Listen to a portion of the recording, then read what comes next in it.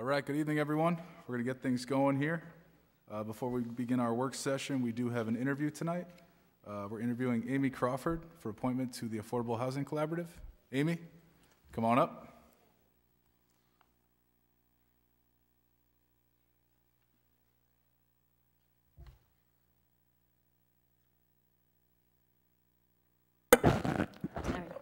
Welcome.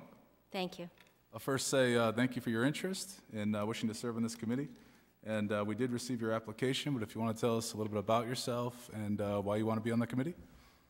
Sure. Uh, let's see. So I moved to North Kingstown about, I mean, to South Kingstown about two and a half years ago. I raised my family in North Kingstown uh, for 30 years. And um, at the time I moved to South Kingstown, of course, we were just starting COVID. And my parents both got sick, and so over the past two years, I was caring for them, and um, they eventually both passed. So I have now retired from a career in nursing. And one, I have time that I feel like I can do things that I that matter most to me. Um, and uh, sort of the community has always been really important to me. Um, you know, I've always been involved in, in North Kingstown and following what was going on, and you know, with the cooperative preschool, all, you know, all the way from the time my kids were little. And um, in my job, I was a community nurse, um, as is in my application. That was for 14 years, and so I worked with a population that really struggled with housing. Um, they were really the most vulnerable uh, families. I worked in Providence, Pawtucket, and Central Falls. Um, so I really got to see firsthand what it was like to try to find safe housing that, that people could afford and sort of saw the barriers to even applying for assistance with housing. You know, so I saw people working night and day and still not able to make ends meet. So anyway, so that was that became very you know apparent to me in my in my uh, professional life as well. Um, and so the other part of it is just that um, you know I want to give back to the community. Um, I feel like I work really well with other people. I've always worked in a team sort of environment, so I feel like I can work well with other people. And I happened to bump into um, somebody just, I, I met Joe Murphy from the planning committee, and we just were got talking, and um, he sort of said, hey, you know, there's an opening. And I thought, well, maybe that's right down my alley. So that's what kind of prompted me to sort of find. And I'm, I mean, I literally only retired on the 30th of, of December um, though I'd been slowing down in my work and had decided that I wasn't gonna like jump into to anything, and then this just sort of presented itself, and so I feel like it's a good place for me. All right, thank you. Any questions from council members for Amy? I think um, your understanding of the complexity, eh, um, based from the view of the nurse in the healthcare field and understanding the needs of the community, would be really helpful. I think we're always looking for people who have a passion to serve because it is such a challenging um, problem just to find housing in general in all of South County. So I hope that um, you'll, you'll hopefully enjoy your time on the board and be able to contribute. Thank, Thank you. Any other questions from members? All right, thank you for your interest, Amy, and you should find out relatively soon. Okay, Thank you. that was that was easy. Thank you. I'll hang out and just listen. All right, now we're going to begin our work session. At this time, I'm going to hand it over to the town manager, Jim Manni, to walk us through the agenda. Thank you, Council President. If you go to uh, item six, licenses. Uh, 6A is a special events permit for the 300th anniversary to hold a uh, bonfire on uh, Saturday, February 25th, uh, from 6 to 9. Uh, B, 6B is a, uh, it's a new license uh, for a, uh, a place called Cakelicious, which is the formerly Sweet Cakes, um, right here, Peacedale. My wife's very sad that that's closing, so. Um, But um, th- that's a new uh, victualling license. And the rest are consents. We have a public hearing on seven, and that's for the CIP.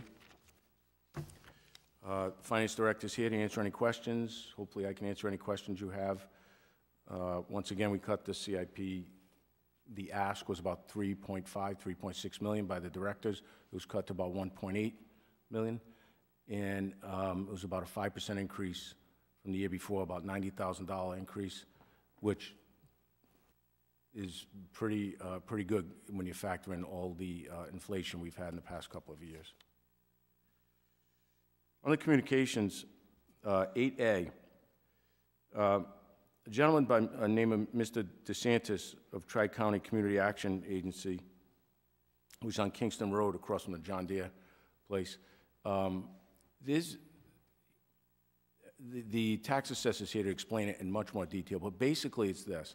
That is like a quasi-agency that a lot of pass-through money goes through uh, in grants and funding for really good causes, uh, people that need heating oil and uh, any type of public assistance. Um, But it, it's an agency that works very hard. It's, federal money comes in, state money comes in and helps uh, people in need. And his, it's a little complex, but his, he was given a pilot, payment in lieu of taxes agreement, that was never, uh, a- although it was, uh, the town council never voted on it, from what I understand. It was, it was something that was drafted several years ago. But then he was given an abatement as well. So the, he has not paid taxes for the past two years, which comes out to about twelve thousand dollars a year. The total tax was thirty-six thousand. He was given a twenty-four thousand dollar abatement by the town. But the, the- the former tax assessor allowed, really put him in like a tax exempt bracket. But once again, that did not come before the town council. So uh, we're bringing it before the council tonight to explain this in much more detail than this and, and request that you consider he be, that he be tax exempt. He is, uh, Mr. DeSantis called us today in a panic. He tested positive for COVID right before the meeting, but he wanted to be here. I really don't see the need to continue this because he gave us all the information that you would need. If you feel you're not getting enough information, you, you feel free to continue it to a later meeting. Uh, 8B is a request by the Exeter Town Council um, uh, to provide a resolution, uh, request support in opposition to a legislative amendment proposed by the Rhode Island House of Representatives on the Land Use Commission, Housing Working Land Group to address housing shortage. Um, This really is a requirement by uh, RIDE. It relates to that, any abandoned schools that, um, that, that are, are abandoned in the town, you know, be, every year, the, the school department must uh, no- notify RIDE what they are, and, and then it goes before a committee to see if they were eligible for affordable housing. So it, it's a controversial uh, law that uh, the uh, House of Representatives has, and so Exeter opposes it, and they asked for the support of this council. So that's a little bit different than what I read when I printed it out. So I don't know if anyone's printed out the resolution and the document. So I would recommend that you read it because the um, Exeter Town Council is very concerned about the um, Land Use Commission. And so they feel, I could just read this to you. We believe that the recommendations would restrict existing municipal land use authority and could lead to a one-size-fits-all statewide zoning. And so then it goes on because the- it- this Land Use Commission is going to be presenting their findings to the Speaker of the House, who will then be presenting legislation. And it could mean a lot of things, like the end of five-acre zoning, which, you know, if you're the type of person who wants to live in a home where you have lots of room to live your life, that's not going to be available to you. So I think there's a lot of concern from communities that one central place is going to tell us what land use looks like for every city and town, and you can understand why Exeter might be very concerned about farm, forest, and open space, the preservation. They go on to talk about the farms. It's, it's a, the, the actual letter itself is, is worth the time to read.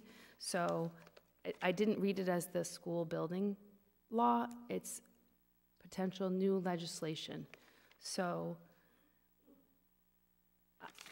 we can talk about it in the work session because I think the community should hear it too. But if you have five minutes, you might want to look at the last two pages of the nine pages.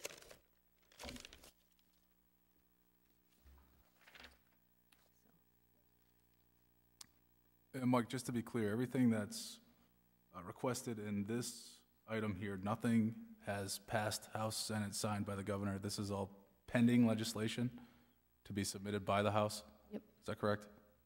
It's pending.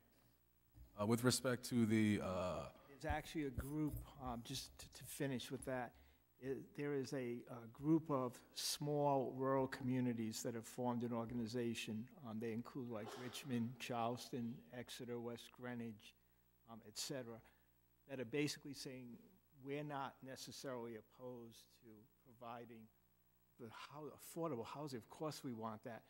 But the approach that they fear the legislature is taking one size fits all. So the same rules that apply in Pawtucket would also apply in Foster.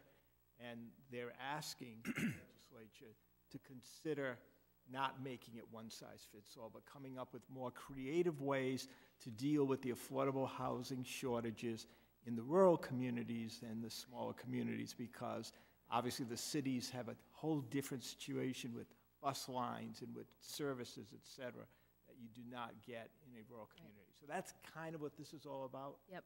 That's, ex- he- so, Mike, al- just another question here to follow up. If the town takes action before this type of act is put into law by the state legislature, would the state's law preempt our local laws? Oh, yes, it would, yes. Okay. Understood.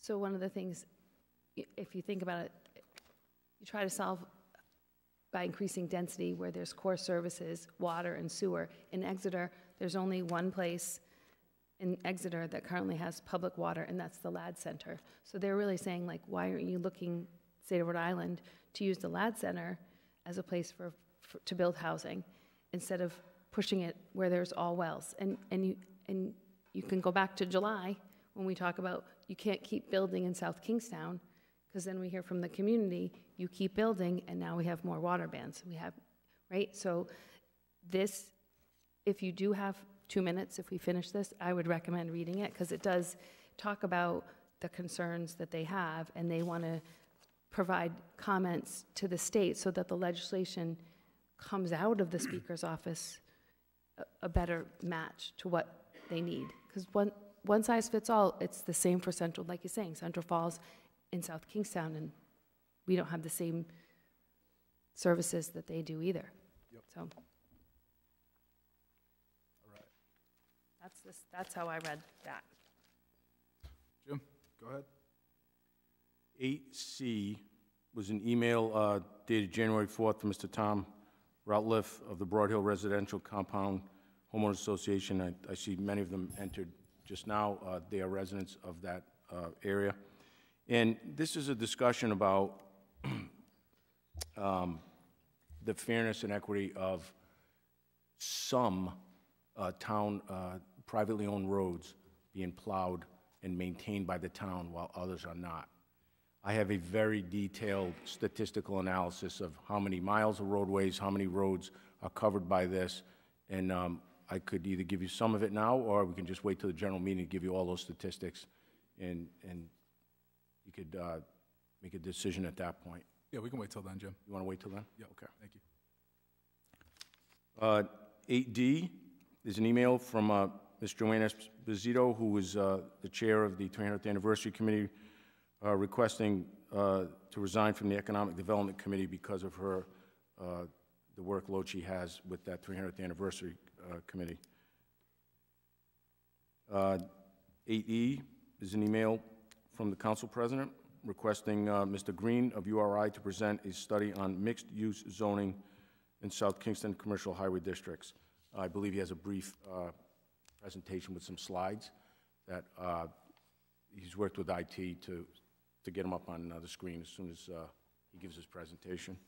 I also have uh, our planning director here to answer any questions on, on that specific topic, if you have any.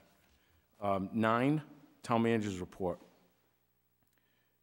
Uh, Director Rabbit is here. He's the point of contact. He's the person that's really handling the study of ARPA money, where it's going. The council directed the $9 million to go to approximately 20 different projects, some big, some small. That was prior to me getting here. We are in the stages of, uh, of dispersing some of that money, uh, uh, plans to, uh, for construction of, of what uh, the priorities were of the council.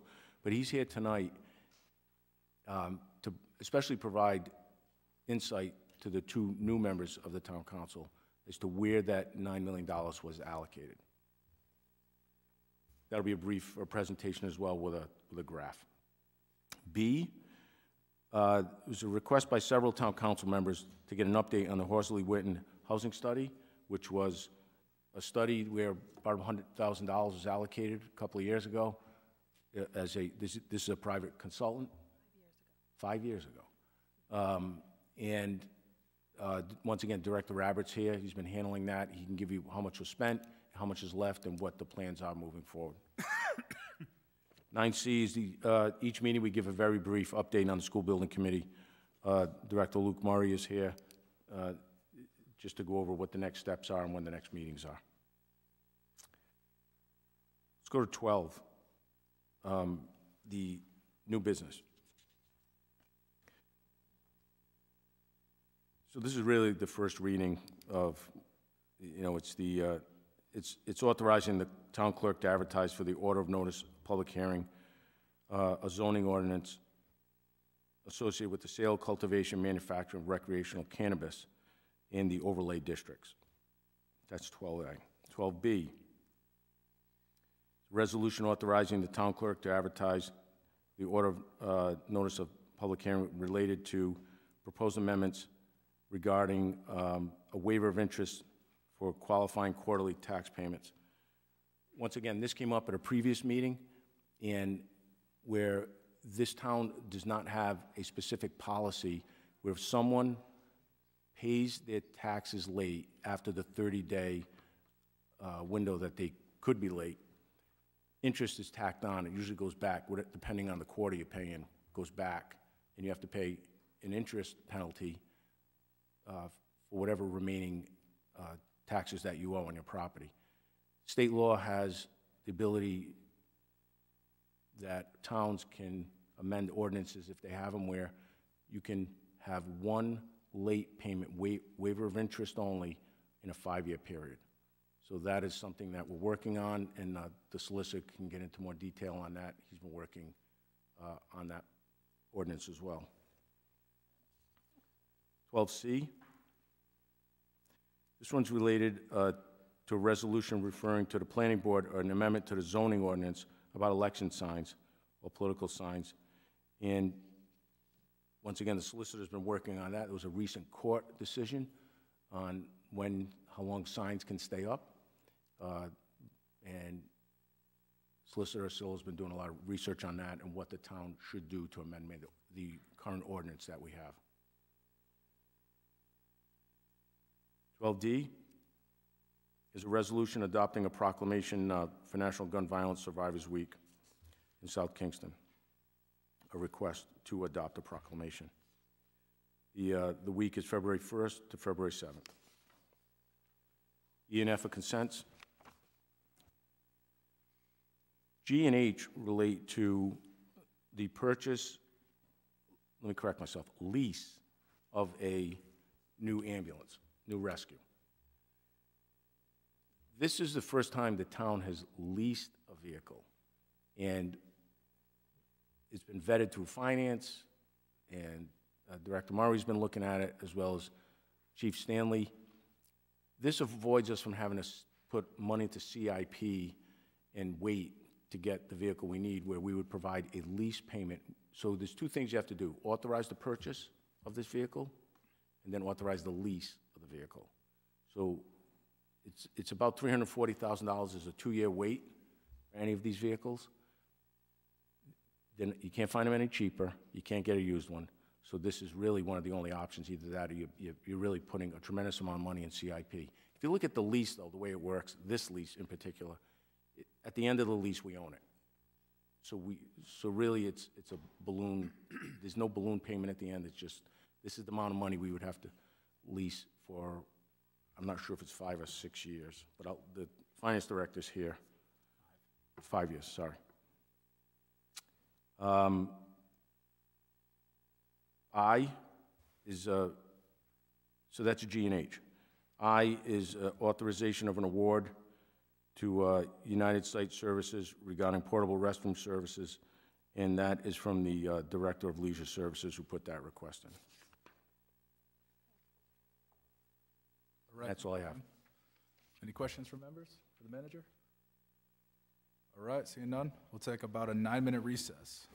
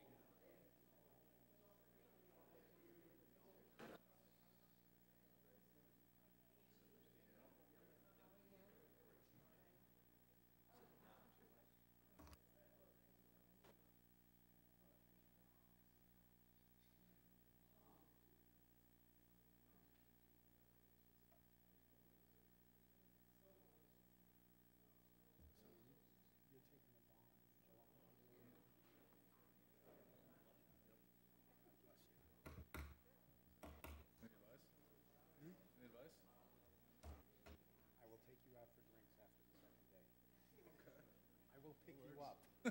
Tell me what it is, I'll pick you up. I had, we had ours at Sayles Hall of Brown, I probably told you this story. Um, And the first day we finished, um, and it was the multi-state, and they probably don't even do it this way anymore. First day was multi-state.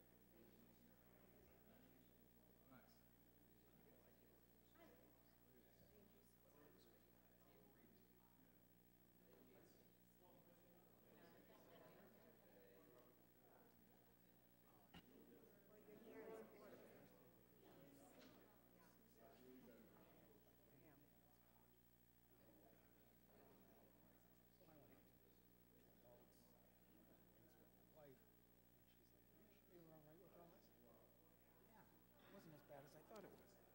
Second day, twelve residents.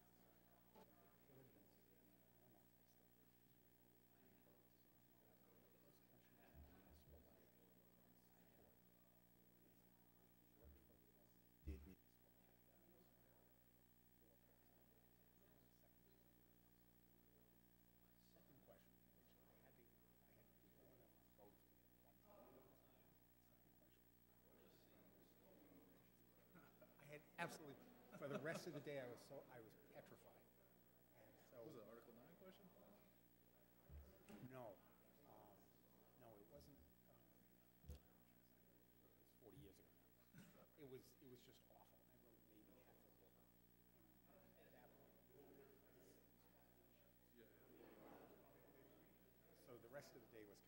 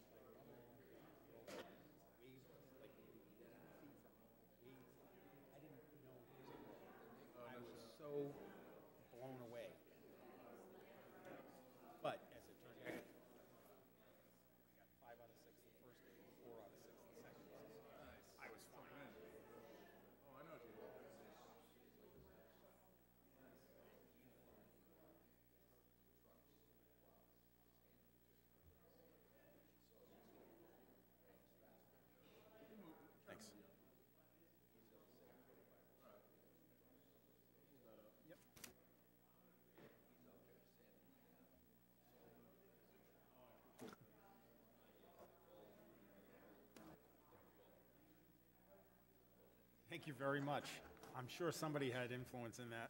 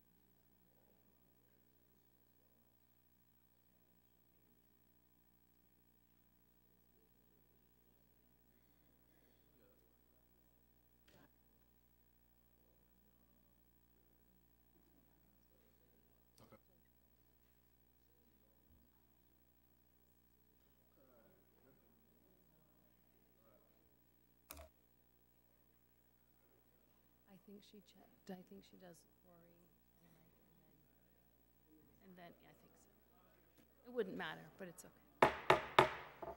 All right, good evening, everyone. It is uh, Monday night, January 23rd, uh, around 7:30 PM for a regularly scheduled town council meeting. Our first order of business, as always, is the pledge to the flag.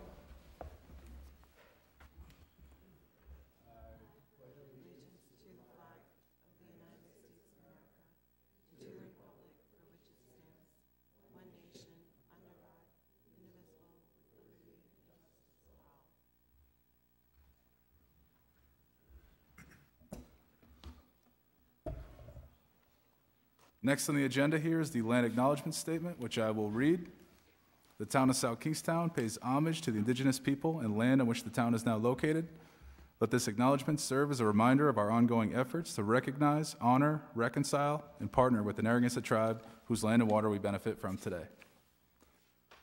Next, we have the roll call. Council President McEntee, Here? Vice President Marin. Here. Councilwoman Bergner, Here, Councilwoman Alley. Here. Councilwoman Rose. All members are present. Thank you. It's going to bring us to item four, approval of minutes of previous meetings.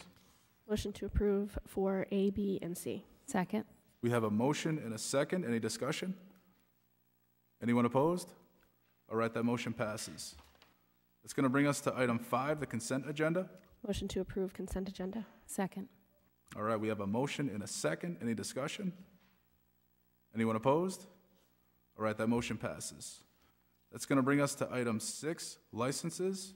6A is a resolution granting a special events permit to the SK 300th Anniversary Steering Committee to hold the SK Incorporation Day bonfire at Saugatucket Park on Saturday, February 25, 2023, from 6 PM to 9 PM. Application by Terry Murphy. Terry, welcome. Good evening. Uh, Yes, this event was on the master list that was um, presented to the council back in the spring. It is the bonfire that's going to commemorate the incorporation day of the town of South Kingstown um, on February 25th in 1723. Um, The committee has planned to have the bonfire uh, to start at 6:30 PM technically because of, we don't want to interfere with the church, St. Francis Church has a 4:30 Mass, and we, we don't want to conflict with, with the traffic. And there'll be food trucks, there'll be a, a DJ with some music playing and a very brief speaking ceremony and the bonfire in the center of the park. We have consulted with the, the police chief, Union Fire District, and the fire marshal um, as well as uh, Parks and Recreation staff will be on hand that evening. And the SKPD is also well aware of the event, so we'll be working with them for all the necessary safety precautions to take for that evening. Anybody has any questions? I think this is a great idea. I'm excited for it, but I just had an unrelated question. I was looking for the meeting minutes of your meetings, and I don't see where the agendas and the meeting minutes are posted on the website. Am I missing something? Uh, The agendas are posted on the Secretary of State's website, so they should be linked to every date. And um, I don't know how many of the meeting minutes have been uploaded to the Secretary of State's website, because I know we have to do that by, by law, but those, um, we do have minutes, so I'll make sure those get updated and posted. Could, could you put them, or help someone put them on ClerkBase? Sure. Where- Where I think 90% of the people would look like I'm looking and under other boards and commissions. Yeah, they're not- absolutely. They're not there. Just I'll do because Yeah, absolutely. we're all trained to do that. Yep. Thank you. We'll do. Any other questions for Terry? All right, well, we've known about this event for a little bit, so it's great to see this on the agenda here to get this going, and I'm sure it's going to be a great one, so I look forward to it. Thank you. But do I hear a motion on this item? Motion to approve item 6A. Second. We have a motion and a second. Any discussion? Anyone opposed? All right, that motion passes. That's going to bring us to 6B, a resolution granting victualling and holiday sales licenses to Cakealicious LLC, doing business as Cakelicious Bakery and Cafe of Wake- Wakefield. Application by Lilybeth Rodriguez Vasquez. Lilybeth, if you were in the audience, I invite you to come on up. All right, she's not here. Uh, Jim, have you had any communication with the applicant? Uh, No, I have not, other than the uh, request. Okay. I mean, I am familiar with the business. I'm comfortable granting this license. I believe they've took- taken over the operations of Sweet Cakes. So if, if any other council member, So normally, Susan Flynn tells us, Attendance was confirmed um, through our office clerk, so I'm not exactly sure. We hadn't heard anything else other than confirmed attendance.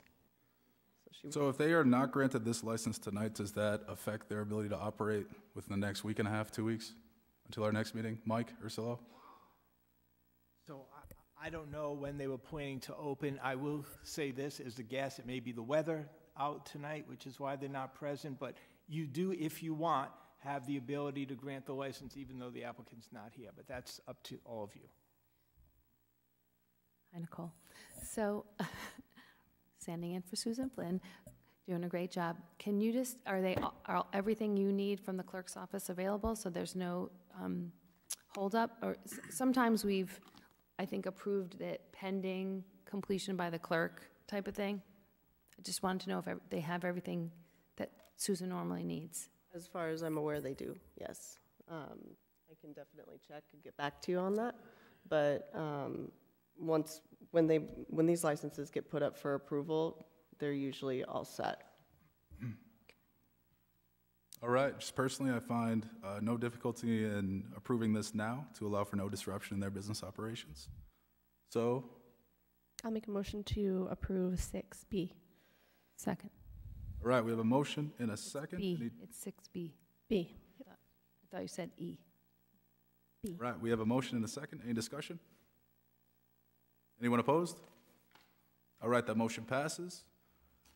This time, for the sake of the interest in a group that has shown up for a certain item, I'm going to move up item 12D, a resolution adopting a proclamation recognizing the week of February 1, 2023 to February 7, 2023 to be National Gun Violence Survivors Week in the town of South Kingstown, to honor and remember all victims and survivors of gun violence and uplift the resilient voices of survivors across the nation, as shown in Exhibit 4 attached here too. And I do know that there's some speakers here who do wish to speak, so come on up.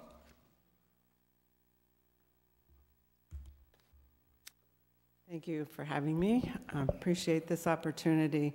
I wanted to um, say thank you to Chairman Rory and Councilwoman Patty, and acknowledge the rest of the council, and thank you for having us. So since I started writing this um, brief statement, um, the number of mass shootings this morning was 33 as of 2023. Right now, it's up to 36. It's January 23rd, and there have been 36 mass shootings in this year. The first week of February marks the time in the calendar year when gun deaths by violence in the United States surpasses gun deaths in other similar countries each year. Five weeks. Most people die from guns by early February in the U.S. More people die from guns by early February in the U.S. than any other economically similar countries. I'm a volunteer for Moms Demand Action for Gun Sense in Rhode Island and have joined with 3,000 members in Rhode Island to raise awareness of gun violence and to advocate and pressure lawmakers to pass common sense gun laws. In 2022, in our state, 46 individuals died and 135 individuals were wounded. In South Kingstown, the SKPD annual report for 2020 identifies 13 weapon violations and no homicides. We are grateful to live in this peaceful town, but we understand that Rhode Island is a small state, that homicides solved and unsolved should be a concern to all of us. Gun violence has had an impact on my family. My husband's nephew, after suffering many years of depression as a 52 year old single man, took his own life, never having owned a gun before. Family has no idea where he obtained it, but he took his life and his father found him. The effects, the impact on that family and his many cousins was just huge. My cousin, my, my cousin Britta, 87-year-old cousin Britta in Colorado, um, she was in the supermarket shooting in Boulder, Colorado. She managed to be in the, fortunately, in the back of the store, and, and um, employees escorted her and others to out the, the exit in the back, where they then went to another building and hid in a storage room. Her daughter and she are still afraid, of course, for their, for their safety. Their death and escape has left our families experiencing survivor trauma that doesn't just go away. Mark's death had a devastating effect on his family and many cousins. Britta's close call left her and her daughter extremely afraid. America's culture of silence about gun violence means that we don't talk enough about or understand the lifetime impact on survivors. This proclamation amplifies the voices of survivors of gun violence to the citizens of South Kingstown. Your support shows that we stand with survivors and support an end to gun violence.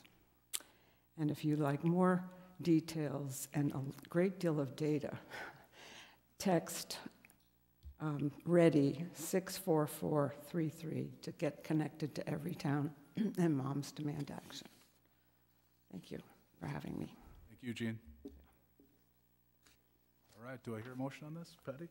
Thank you. Um, Thank you so much, Jean, for all of your work and for all of the moms here tonight.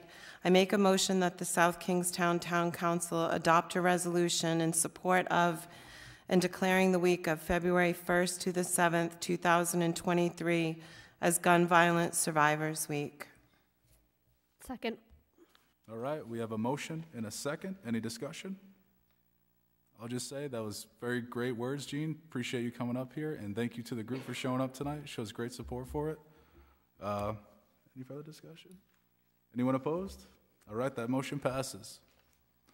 All right, this time that's going to bring us back to item seven, public hearing. Seven A is a public hearing relative to adoption of the proposed fiscal year 23-24 to fiscal year 28-29 capital improvement program, as shown on Exhibit One attached to Year Two.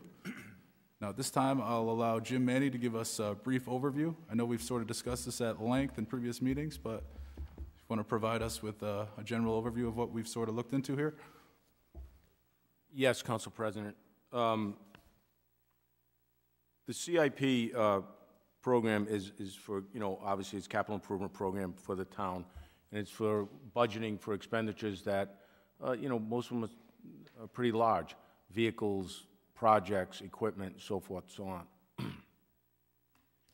When I presented the CIP uh, several weeks ago, I, uh, we had all the directors submit their list of uh, prioritizing what their requests were uh, to me, and I sat with the directors and with the uh, finance director, who's also in this room now, and if you have any specific questions, he could answer them uh, in more detail if, if I'm not giving them to you.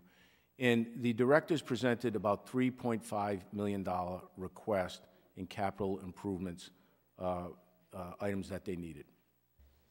Uh, I asked them to prioritize them even further than they did, and we narrowed that down to approximately $1.8 million, about half, in, um, in the uh, uh, capital improvement, in my manager's budget is what I would submit.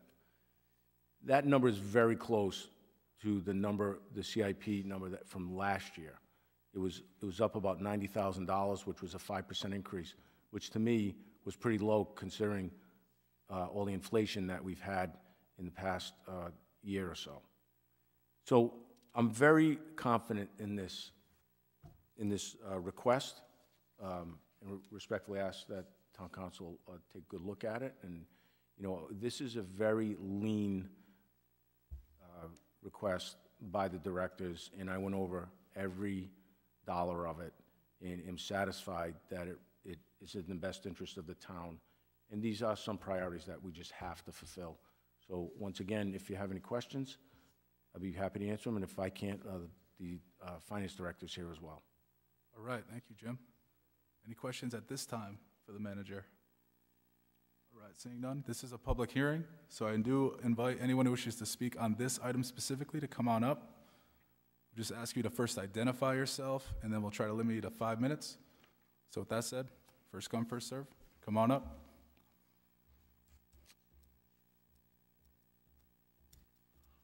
All right. Oh, up, Doral, okay.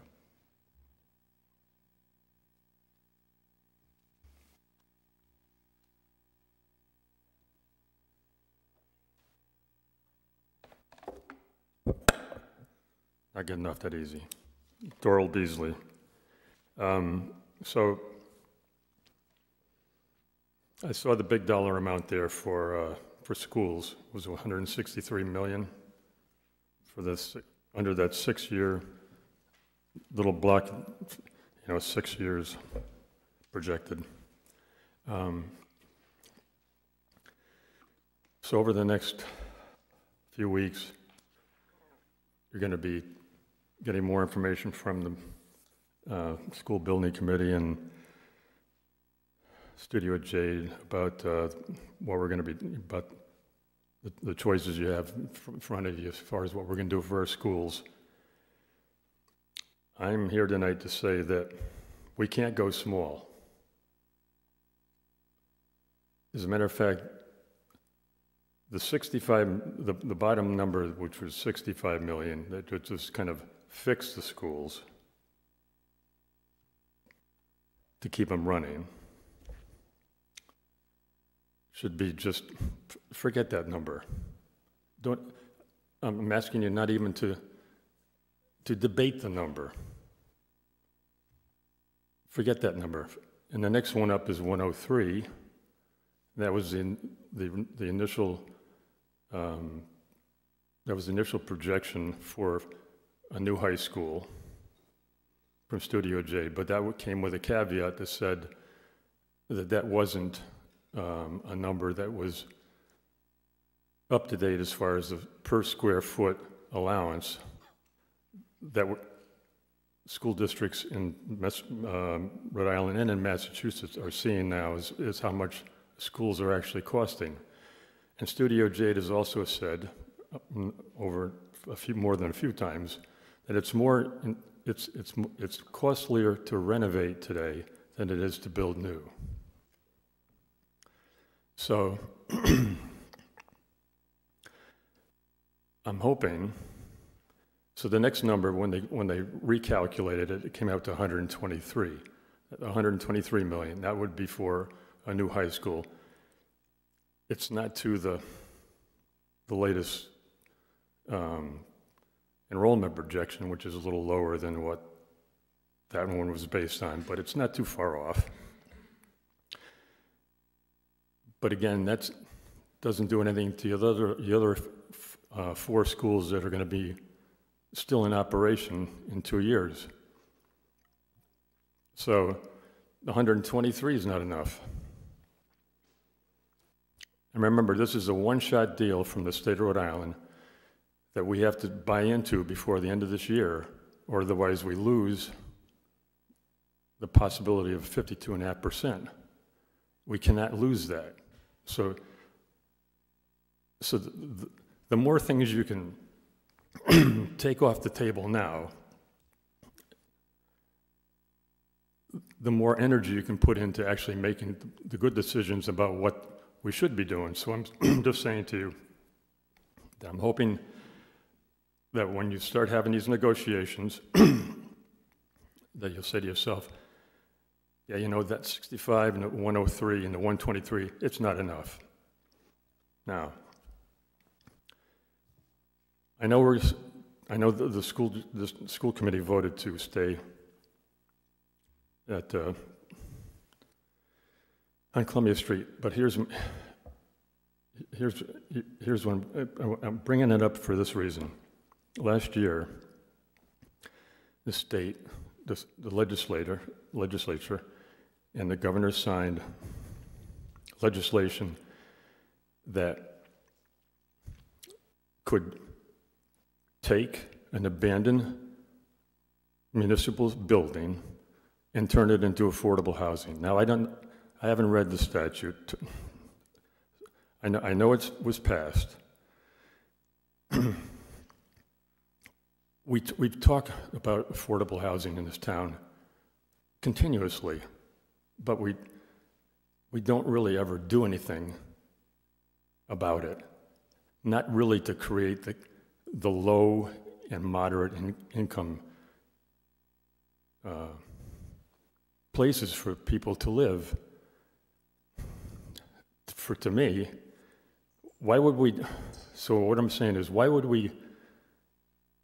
If we stay at, on Columbia Street, what they're going to do is they're going to demolish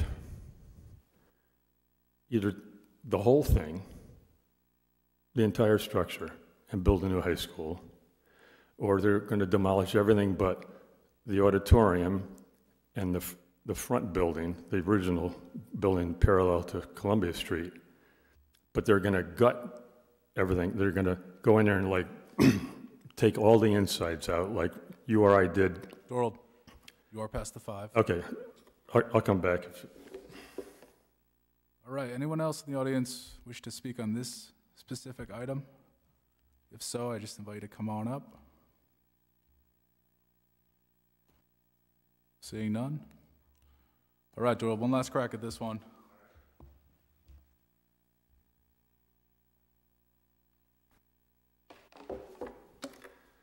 All right, so.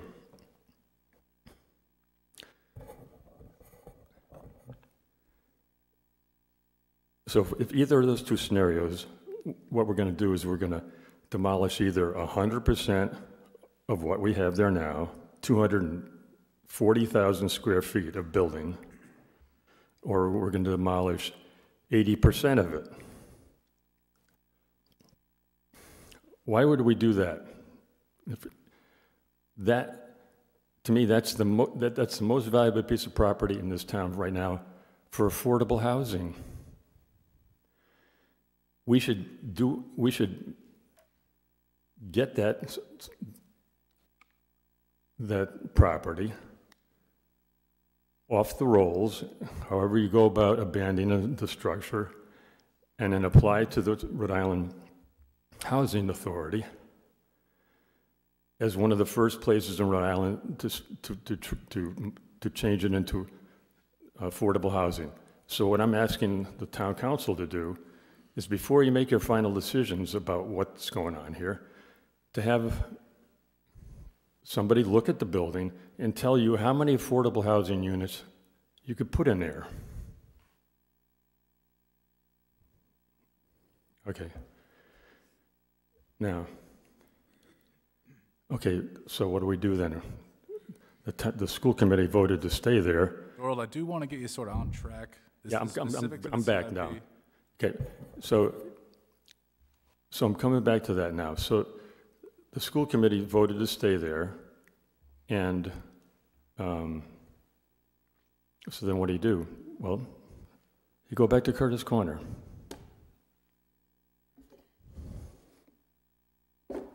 Yep, I think that's it. Thank you. Anyone else in the audience wish to speak on the CIP? All right, seeing none. Motion to close the public hearing. Second. We have a motion and a second. Any discussion? Anyone opposed? All right, the public hearing is now closed. Do I hear a motion on 7A or any thoughts prior to making that motion? Go ahead. Just- It's just unfortunate that we had a lot of in-depth conversation three weeks ago about the CIP, and so it's almost like you want to tell people again, there's some great things in there. I was looking to, to highlight some of the things. One of the things is there's going to be a renovation to the Peacedale Library where a small amount of money from the town, 80,000, and we have a grant for the rest of this $300,000 project. They're going to renovate the balcony and expose some of the interesting architecture, just trying to highlight a couple of great things that we really leverage some money with. There'll be some updates to the senior center in terms of blinds and um, carpeting that hasn't been done in a number of years. So there's a range of projects. I was just trying to find some feel-good ones that people might, might feel good about where their money is being spent. Um, you know, obviously, there's money dedicated to the parks and EMS. I think it's a new defibrillator in this year's budget, so there's a lot of things that really matter and make the community feel good and safe. So Jim really did make a lean budget, but while Dorald was speaking, and I apologize, Dorald, I was just trying to figure out what we could share since there's a lot of people here who might not have been here on the 5th. I'm excited for Old Mountain Fields and the facelift that that's going to get. It's more than a facelift. It's going to completely change um, how that area functions. And when people come in, you know, we have the Waves team, and we have a lot of people come in. And when they come in from out of town to see those games, because I know they come from surrounding communities, it'll be so nice to, um, you know, show our best face for them for other communities. So I, I think you're right. There are a lot of great projects in there, and if people have a chance to go through and look, it is really nice to see where your taxes are going. Um, so thanks for bringing that up. Appreciate that. Any other thoughts from council members? All right, I'll just briefly state that um, you know, the purpose of the CIP is for us to be sort of financially prudent. It allows us to uh, plan out six years and uh, set out monies accordingly over time so that we can uh, make purchases or capital expenditures at the right moments in time based on uh, the useful lives of the assets we have in place. So it's a good plan, and I believe that Jim Manni has presented us with a lean CIP, something that addresses the priorities of the residents. And uh, I'm pleased with what we have here, so happy to uh, approve this. But do I hear a motion on this item? Motion to approve item 7A. Second. All right, we have a motion and a second. Any discussion? Anyone opposed? All right, that motion passes. That's going to bring us to item 8A, an email dated December 13, 2022, from Joseph DeSantis of Tri-County Community Action Agency requesting to present an overview of Tri-County programs, the impact of services on the town, and to briefly discuss Tri-County's tax exemption status. Now, I know Joe cannot be here tonight, but Jim, if you want to give us a sort of brief overview about Tri-Community Action and the services they provide and what they're requesting here? Uh, Yes, Council President. Uh, Mr. DeSantis called right before the meeting. Um, He had a, uh, uh, he tested positive, he told us, and that he he unfortunately could not come uh, to the meeting, but I think there's enough information here that the council can make a well-informed decision.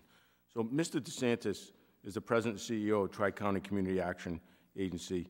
Um, His, even though he's the CEO, he's based here out of, uh, even though it's a big, it's out of Johnston, the headquarters, there's a big uh, facility here, right across from Tony's Pizza, that, that uh, complex there.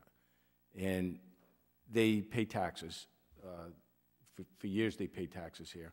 This is a little complicated on, on how this discussion got to this point, and the tax assessor is here, and he can explain it in great detail. But basically, it comes down to this. Mr. DeSantis uh, explained what Tri-County does. It, it is, uh, provides a, a multitude of services for low and moderate income households, heating, food assistance, weatherization programs, Head Start and Early Start programs, employment and training, to name a few. Has a very good reputation. It helps the underserved communities throughout the state. It's a, it's a really good agency. So several years ago, and I'll give you a brief overview. Several years ago, he was entered into a pilot program, payment in lieu of taxes, where there was an agreed amount that they would pay and it would not go up. the previous tax assessor made them tax exempt, and there was a little confusion because the pilot was never signed by, uh, approved by the council, but even though it was proposed. But before I say too much, this is a subject matter expert right here, so I'll turn it over to Mr. Mark Capuano, our, our, our tax assessor. Uh, Thank you, Jim. Uh, Good evening, Mark Capuano, Tax Assessor. Um, As the town manager stated, um, there was a uh, pilot agreement that went in front of the uh, town council uh, January 11, 2021. Um, After it was, uh, after it did go in front of the town council, um, then uh, several weeks later, on July, on January 25th, um, an abatement was uh, put through. So basically, what this did was, uh, it just uh, eliminated uh, the remaining balance of the tax bill for Tri-County at that point. Um, So the, um, and then going forward, um, the abatement was, the pilot agreement was going to be in the amount of the remaining balance was about uh, $12,166. So um, when that did happen, um, the assessor's office switched the uh, land, what we call the land use code on the property from um, a non-exempt property to an exempt property.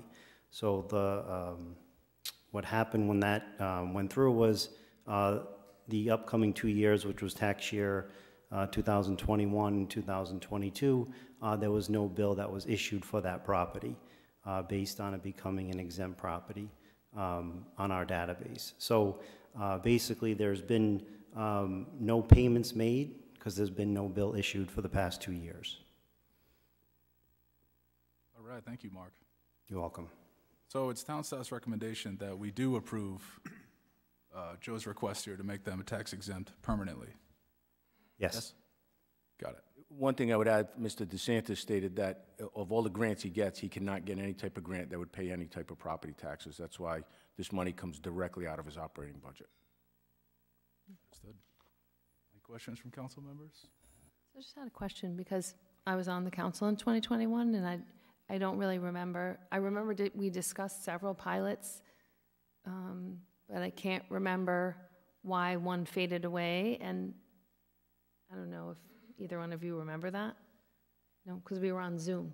So it was like, I remember talking about it. I don't. we lived on Zoom that year.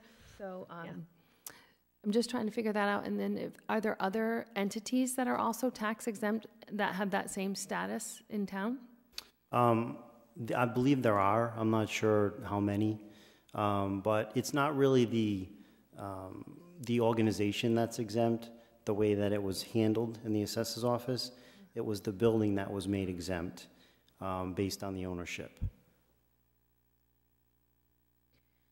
Okay, so I'm, I'm concerned that, are there other potential future ramifications from other agencies or entities that have property that we might be having them come forward in the same way?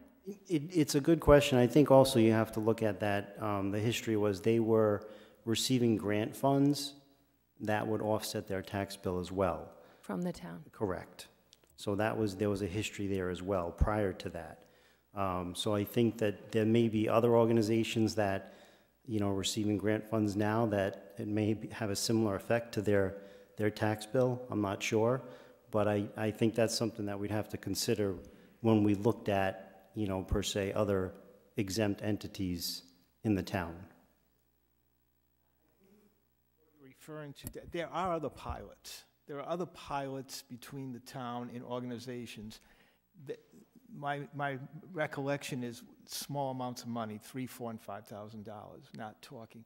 This particular one, at the time you approved in twenty-one, would have required them to pay twelve thousand one hundred dollars, or basically one-third of their tax bill. Just prior to that, as Mark mentioned, we were giving them a grant for that, so it was like a wash.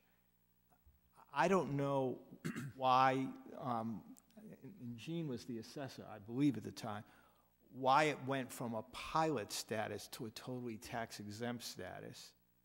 Um, but it did, which is why tax bills didn't go out for two more years. And then when Mark came on, he's looking at these records and something's not adding up. So that's why on this particular one, we're here tonight saying probably should be tax exempt because we're not giving them a grant used to offset the taxes.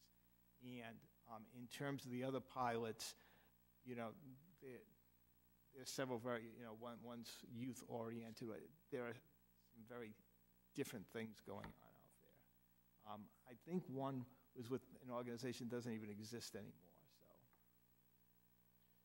There's one other point to that. Up until last year, Tri-County was giving a grant back to the town for $11,000 for the senior center.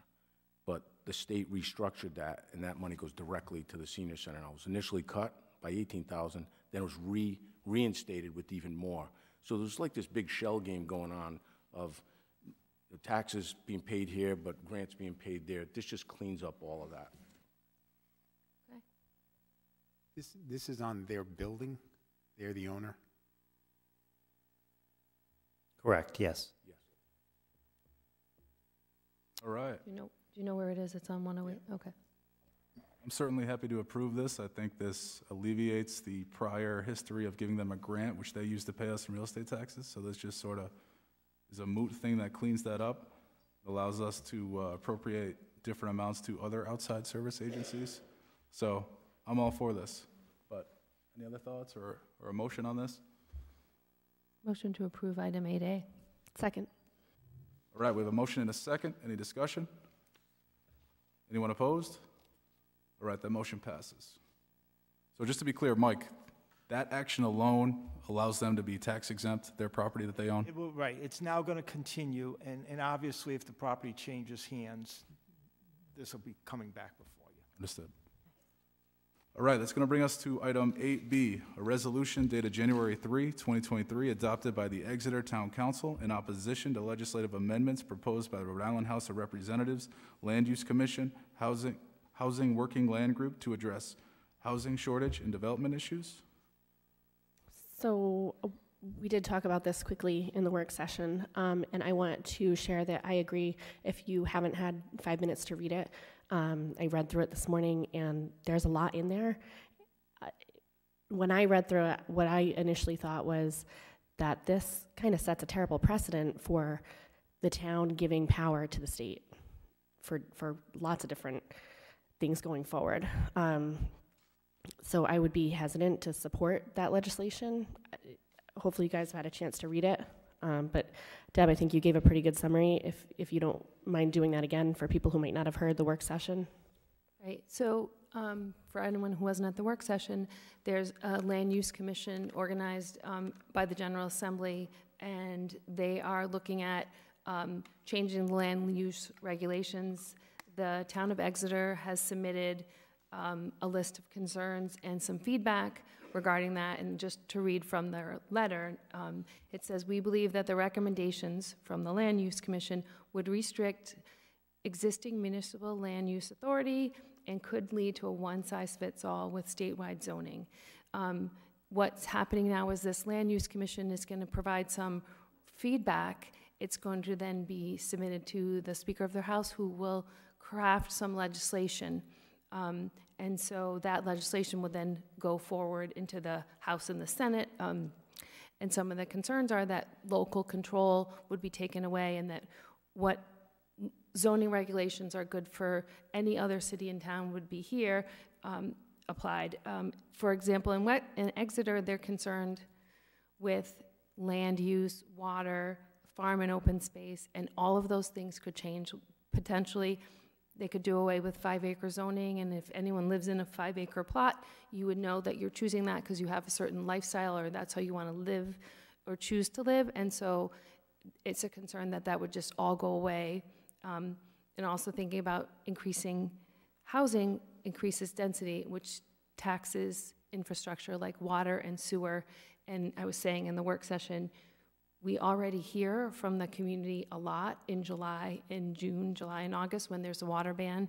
And then we get the pushback, you continue to allow development and we want the water to use as we choose. So we need to, as a council, either direct that our planning board turn around and quickly write a letter, because this legislation is going to come out on February 16th, I believe. So we want to get ahead of this. We want to speak to our representatives and senators who can then advocate on our behalf as a town that we have concerns that this legislation is not good for South Kingstown. And I, I don't, I want to make it clear too, like, I don't think that this means that we're anti-development or that, you know, because we do need um, some solutions to address affordable housing, but I think that that needs to stay with the town, and I don't want the state telling us how we have to do that. This needs to stay with the municipalities. Agreed. So if you, I, I know in- you, you hadn't read it earlier, so I do hope that you No, do I, read it. I, I just hadn't printed it out, but I have read it. Okay, because I do think it's, we, we really need to speak with one voice that we need to add, that our town should decide how our town looks. We know our community best, and we hear from farmers, we hear from people who love open space, and all of these things come into play.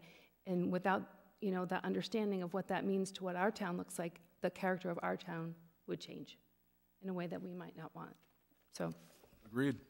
We certainly know our town better than the state does, and we want to maintain control of our planning and zoning with respect to housing. And uh, The decision-making on that should rest with us and not be preempted by state action, so I'm happy to uh, get on board with uh, adopting the resolution here given to us by the Exeter Down- Town Council in opposition, but do I hear a motion on this? Yeah, so if we adopt the resolution, can we also direct the planning board to, or do we want to, can we just draft a letter ourselves in support of, Yeah, yes? let's have the town clerk draft a letter on our behalf representing our opposition to these legislative amendments in conjunction yeah. with the Exeter Town Council and other towns doing the same. Do I hear a motion to that effect?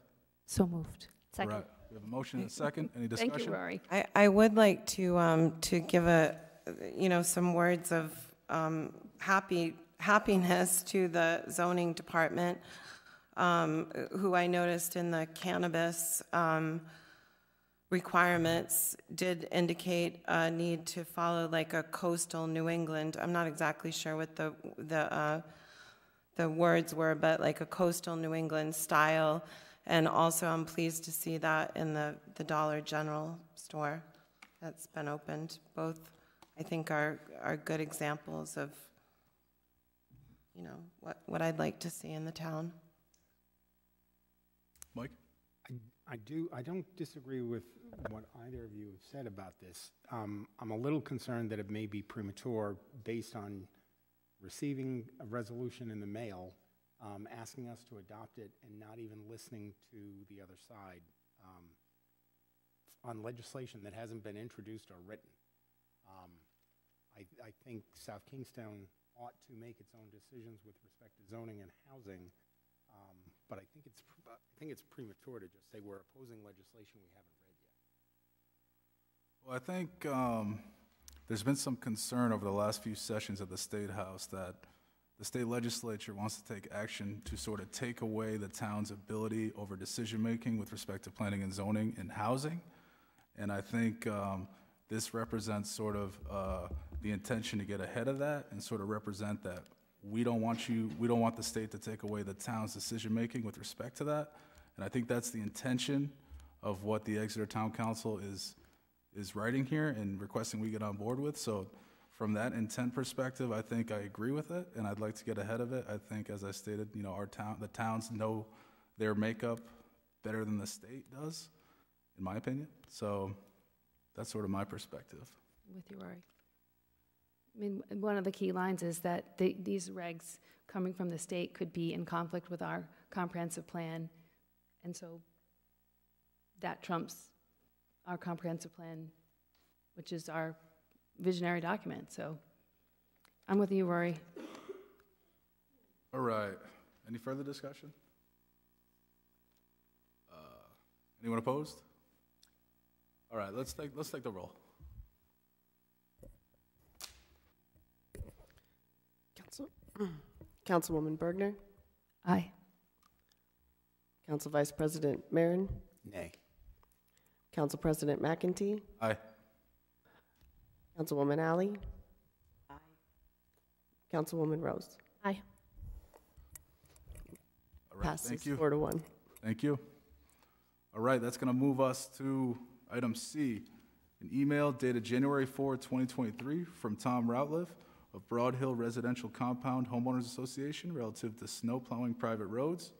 Tom, come on up.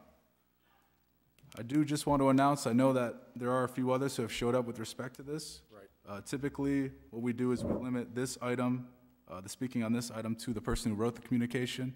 And anyone else who wishes to speak, we invite you to come up during this segment for comments from interested citizens. With that said, Tom, welcome. Okay, I want to thank the council for hearing us out. As you pointed out, I represent the homeowners association that has brought this petition to the council um, on the grounds that we feel the current snow plowing policy is unfair, and particularly to taxpayers such as ourselves on private roads that are not being plowed by the town, whereas other private roads are. I just want to take a second to um, explain how we got involved in this. Over the years, this is a longstanding policy, and over the years, our residents would see town snowplows using our private road, which is the Broad Hill Way Road. And the plows would be up, and they'd be going somewhere, from Ministerial Road to the interior. We found out that they were in fact on their way to plow Sand Plains Road, which is also a private road. So that raised the question of why is Sand Plains a private road being plowed by the town? We took that question up with, back then, um, John Schock. And that's when we learned that there are in fact, and, and uh, Mr. Manni has the, uh, the numbers, but there's 14, um, 14 miles of private roads that are being plowed by the town, and uh, that's out of a total of 75. So roughly speaking, it's about 20% of the town's private roads, um, which are being plowed by free at taxpayers' expense, and we have an objection to that free ride. So going back to what John said, his explanation was that this was done by tradition. When we tried to probe into what does that really mean, um, there's, there's no written documentation for this arrangement. It does date back dozens of years, um, so we acknowledge that.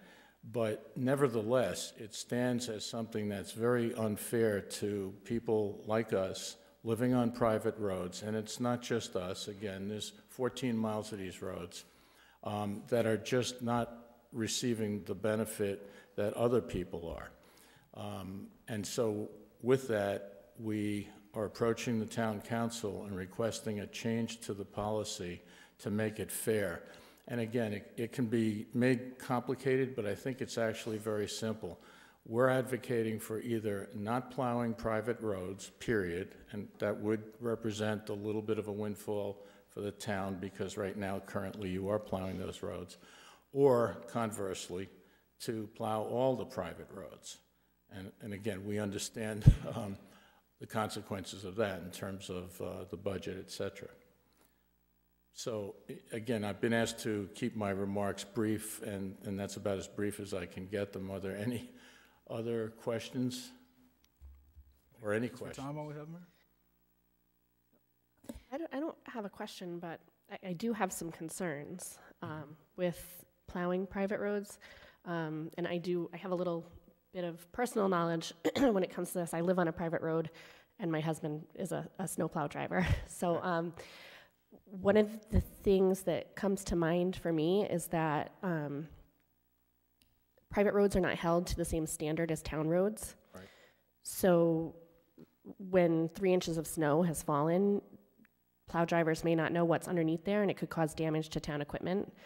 Um, another concern for me would be that um, a town vehicle might damage a private road, and then who's responsible to repair that, right? Because I know on my road, if anything happens to the road, the residents are responsible for repairing the road, not the town. So those are just some things that come to mind. I, I also want to say I appreciate you coming up here with both options and realizing that, you know, it, it, might work against you um, if that's what we decide to do.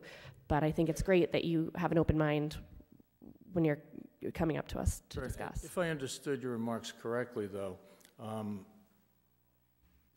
actually, by stopping the plowing, you would avoid those problems that you mentioned. Right, that's what I mean. So I, Okay. I mean, I, I personally would be in favor of And- not plowing because if we did plow, those are the, the s- issues that I would see arising from it. Right. Um, so th- that's why I want to say kudos to you for, for keeping an open mind when you come up and suggesting both options. Sure. So, just want to make sure I understand all this Yes. correctly. Yes, The town doesn't plow Broad Hill Way, that's correct. and there are other private roads that the town 40 years ago or 25 years ago may have had some handshake agreement to plow the roads. That's what we're doing? right? That's what correct. that- That's So- what that is? I, I think it'd be, uh, if I gave you some statistics and some information, we've done a lot of research on this, it just might help you, the conversation, um, you- you'll have a lot more information to discuss. Um, I met with Mr. Routliff uh, several times in his uh, contingent, and they came with that concern that he spoke about. We started this conversation in the fall. So let me give you some statistics on uh, the magnitude of the number of roads and miles that we have in this town.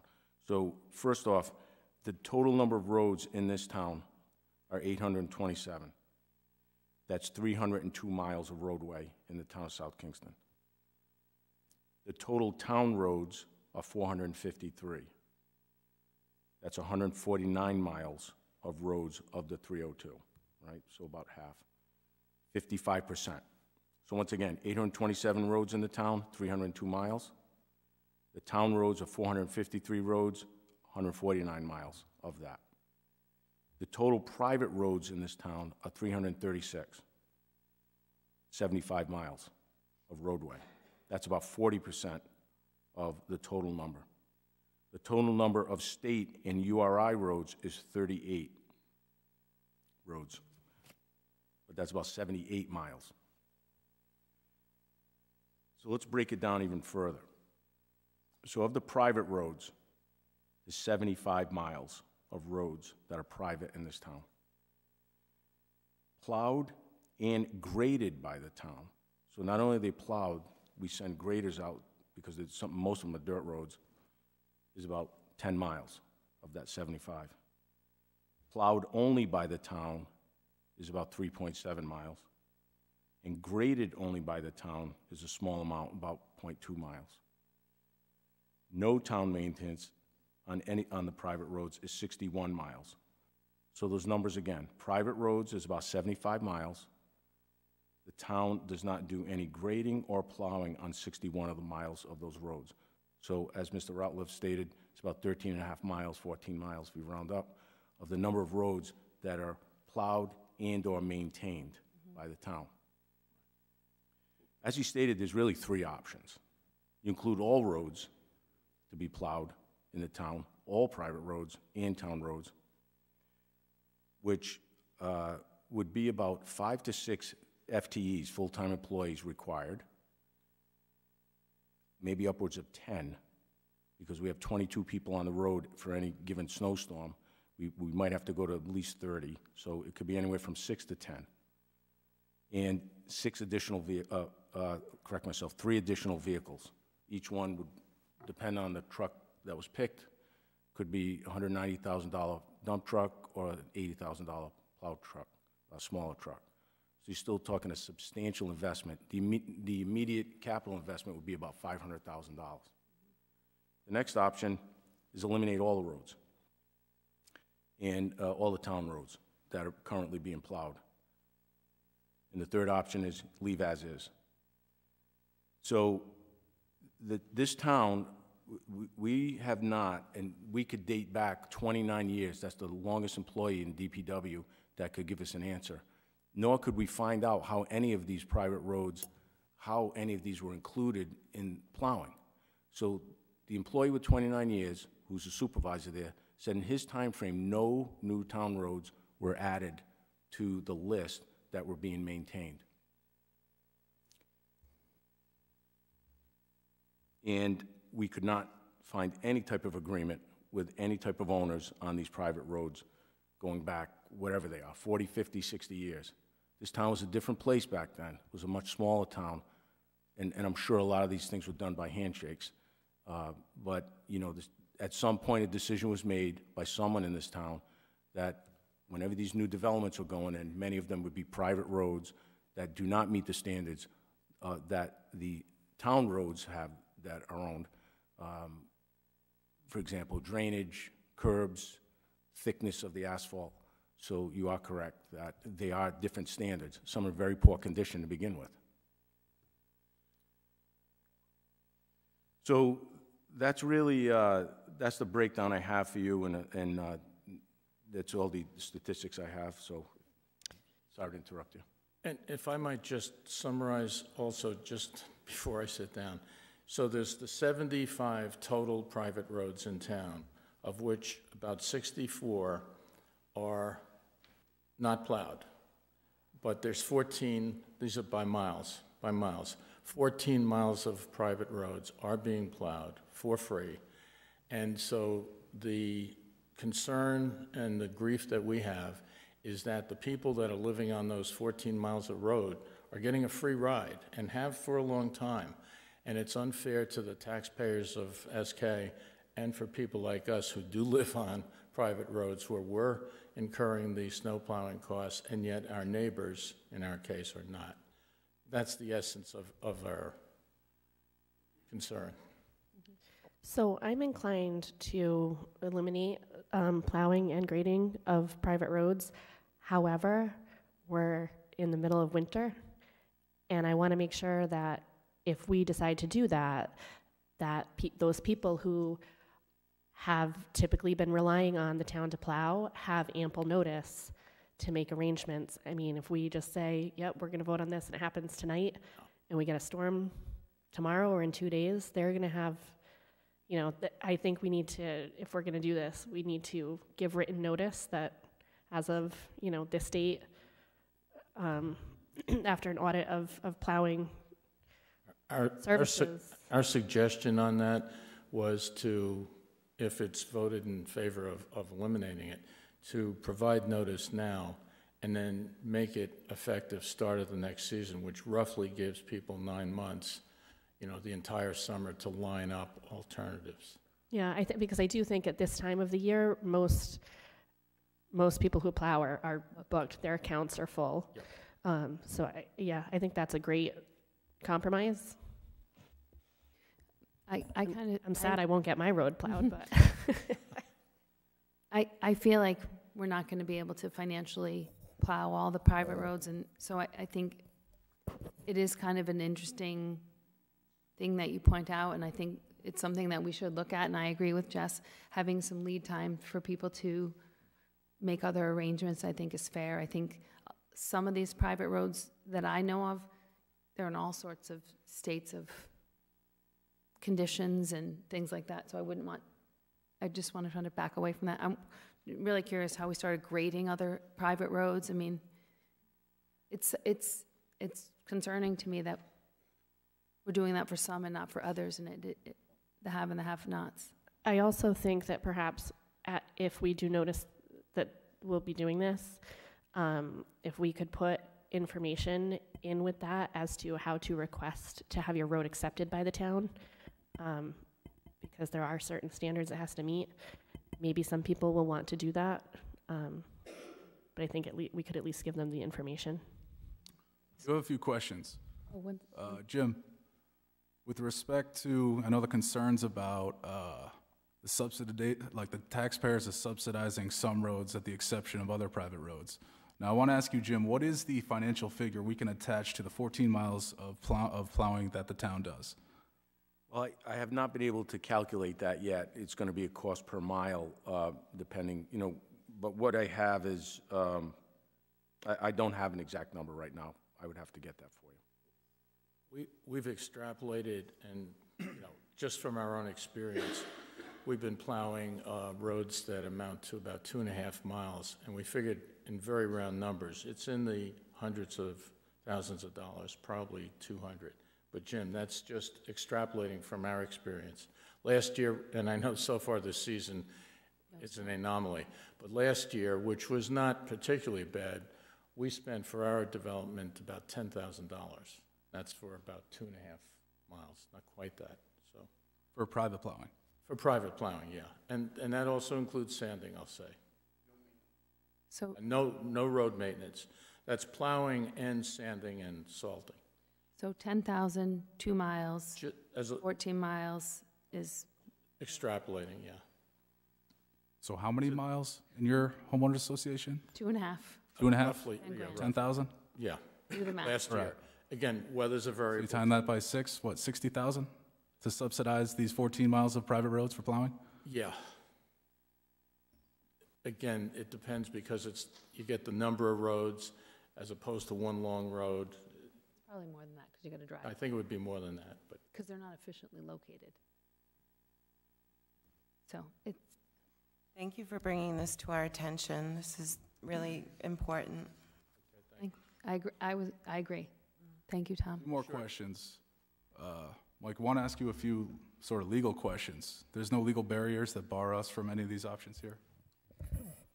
This is purely a policy decision. Um, I actually did, of course, do some work prior to the meeting, knowing this was coming up. It, it's really not a legal issue. If the town wanted to keep um, the present system in place, it could. Um, It's not the greatest analogy. It's almost like, you know, zoning, when you make a zone change, people are grandfathered in. At some point, um, back in the 70s, my, my guess is, and this is from my memory and having conversations with John Schock back in the 90s, because this has come up from time to time. Um, John believed the policy went back into the 70s and the late 60s when the town was extremely rural. There weren't nowhere near as many residents, and as new developments came along, the town simply did it. At some point, someone, wasn't John, made a decision that that was getting too expensive, and they said no more going forward. So, as the manager mentioned, we know for at least 29 years no one's been added. My guess is it probably goes back further, but you know that's that's kind of a guess. But um, whether you um, leave things as is, stop the plowing, or obviously do it for everyone. I live on a private road, that would be nice. Uh, It's not a legal issue, it really is a policy issue, because at some point, there was either a handshake or a written agreement that the town would do that. We can't find records, but there must have been something back then, so.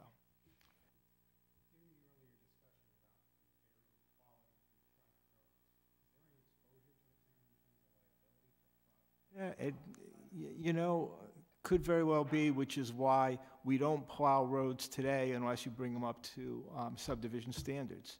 So, yeah, of, of course there could be. A- Any damage caused by a town-operated vehicle, we are liable for that, on any road. And, but, but I will tell you this, eh, God forbid if um, a- a snow plow driver, if someone was injured while on a private road, the town's insurance would still co- cover that for that employee. It would not cover the damage to the private road. I personally have a little concern over the reliance aspect of this. You have 14 miles of roads here, of private roads, that have had a history of being plowed by the town, and presumably those, those homeowners expect that, relied on that, and, uh, you know, have sort of set their finances in according to that. Um, I just have a little hesitancy to just sort of move away from, you know, what we've had in place for the last few years for the sake of sixty thousand dollars, which we just quantified here. I think that's. I sort of- think That's that- a real ballpark I- number. I But I think that it's going to be a big, a bigger difference because it's, we're going to need manpower to, if we expand, like, you want to keep it just the way it is? Is that what you're saying? I'm saying that uh, the reliance aspect is something that is important here. I think uh, these homeowners have sort of relied on this for, I guess, over 30 years at this point. And I think that there's you a lot more potentially people affected by a potential change that are not here, not really aware that we're considering sort of pulling that on them. And I think, uh, I just don't think the financial burden, I know you have concerns about taxpayers subsidizing uh, some private roads at the expense of others who are excluded, but I just don't see the big burden taken here. But the flip side of that is, that's regarding the 14 roads. By this, by that logic, then it wouldn't cost that much more money for the town to plow all the private roads. We're looking for equity here. Mm-hmm. I understand you're looking for equity. So I'm, You know, and just one other thing, in terms, in terms of the effect on those people, if you did stop plowing, you could consider establishing fair market value for that service and then surcharging them for that. Again, that would provide some level of fairness Right. across it. Because just to stand there and say, this is a longstanding but very unfair policy, we're not going to change it, just is really hard for us to. All right, along those lines of thinking, Jim, I have a question for you. If we decided to take that route, continue to do the plowing, but charge them, so give them notice that even though they've received, I guess, free plowing from the town over the last number of years, the council's decided that we now are gonna charge you for these, that at least doesn't take away the service, but it informs them that they're gonna be charged for it. Is that something we could potentially do? Well, the standard of fair and equitable, we'd have to offer that to everyone, I guess, then. you open the other. You know, uh, I live on a private road as well, and it's. We're it's- not plowing your road. No, I know. So, I- so I guess it would essentially, Just my word. would But it- essentially. I think that if, if we do offer that, we'd have to offer it. It would essentially be this. The town council has decided to uh, no longer plow these private roads, but in lieu of that, we will offer to do it to you, for you for a fee.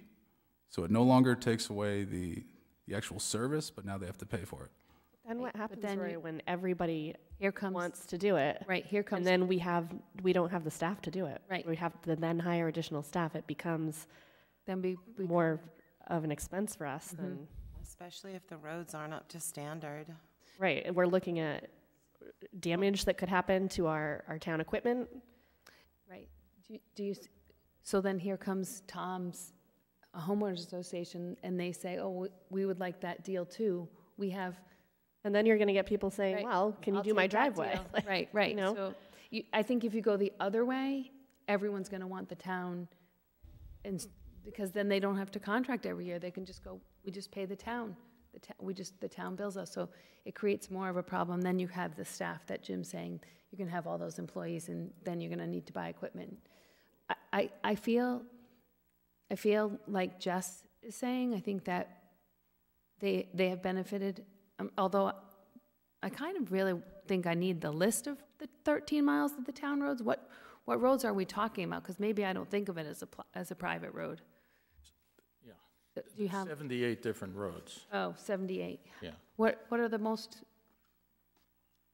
The- We, we- I mean, there is a list, and we, talking- we were given the Well, I think, just looking, you know, I don't have the don't have complete list in front of me, but we do have a complete list. Where Broad Hill, the road they're on, is probably one of the biggest ones. It's a, it's, it's, it's a fairly good-sized development. right? Are there others like that? So, Like, is like Big Bear Road off Tuckertown, is that a private road? I don't have the list, but there's 78 roads, obviously from the number of 14 miles, some very small. Um, Stan Plains is pretty long. It's a long road, yeah. That's a private road? Yeah. It is being plowed. So I do, I do, I do think we need equity, and I do think to, to rely on the fact that, oh, this was a policy long-standing thing. There was lots of things that we are embarrassed as a country that we did 20, 30, 40, 50 years ago, that we shouldn't just say, just because we did it then, we should keep doing it. So I, I feel like these taxpayers feel, po- pointing out inequity, and I think I value equity, so. Mr. President, one other thing, some of, probably most of these private roads do not have homeowner associations. So to get any group of people to agree on one thing, I think would be very difficult anyway. Suppose you have 20 people on a road, and 15 want it plowed by the town, and five are saying, no, we don't want to pay. Um, So I- I think that, that option would be a tough one to uh, implement. So I will make a motion to direct town staff to discontinue plowing and grading private roads and to also notice those residents um, that those services will be discontinued as of, November. shall we say, September 2023? Second. all right, we have a motion and a second. Any discussion? Anyone opposed? All right, that motion passes. Thank you very much. Thanks, Tom. That's going to bring us to item D, an email dated January 12, 2023.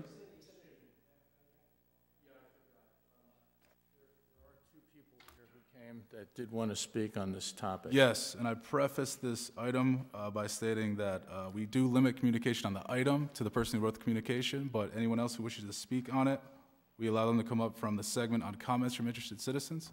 So if we just hang tight for a little bit. All right, it's going to bring us to, Jim, just to tie this off, can you get us that list, um, the list of the roads? Yes. Because we've now just made a decision that those roads are now out. Um, We want to make sure that they, I'd like to see what the notice is and what um, roads are going to be involved. Yes, by Friday, I'll give you the list of 78 roads, and, uh, and we, we will use the date of September 1st to uh, put them on notice. Thank you. all right. Item 8D is an email dated January 12, 2023 from Joanne Esposito tendering her resignation from the Economic Development Committee, effective immediately. Make a motion to accept Joanne Esposito's resignation and direct the town clerk to thank her for her service. Second. All right, we have a motion and a second. Any discussion? Anyone opposed? All right, that motion passes. Going to bring us to item E, an email dated January 18, 2023, from Council President Rory McEntee requesting an opportunity for William Green of URI to present his study on mixed-use zoning in South Kingstown's commercial highway districts. William Green, at this time, I invite you to come on up.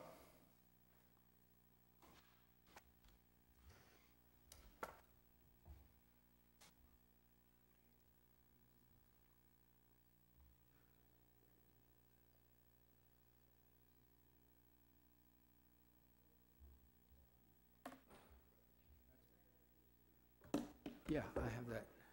All I have to do is, I just would like to plug that in, computer. Yeah. Does this, do I have to do it here? Where else can I do it? Hmm? Where's the nearest outlet?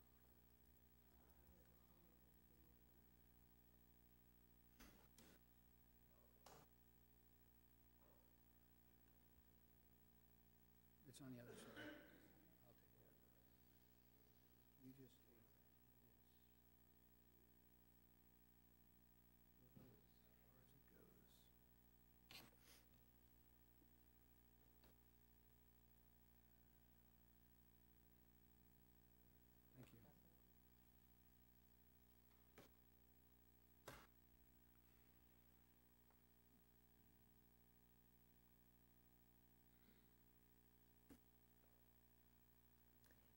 Audience see? Can they, can that one be turned a little? Can we turn one so that the community can see it? I don't know. Can pivot out better. Can they move it?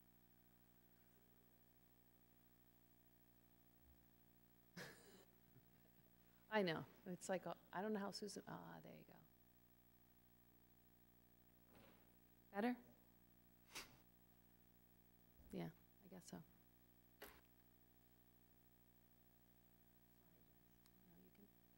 Hopefully this will work. Let's see.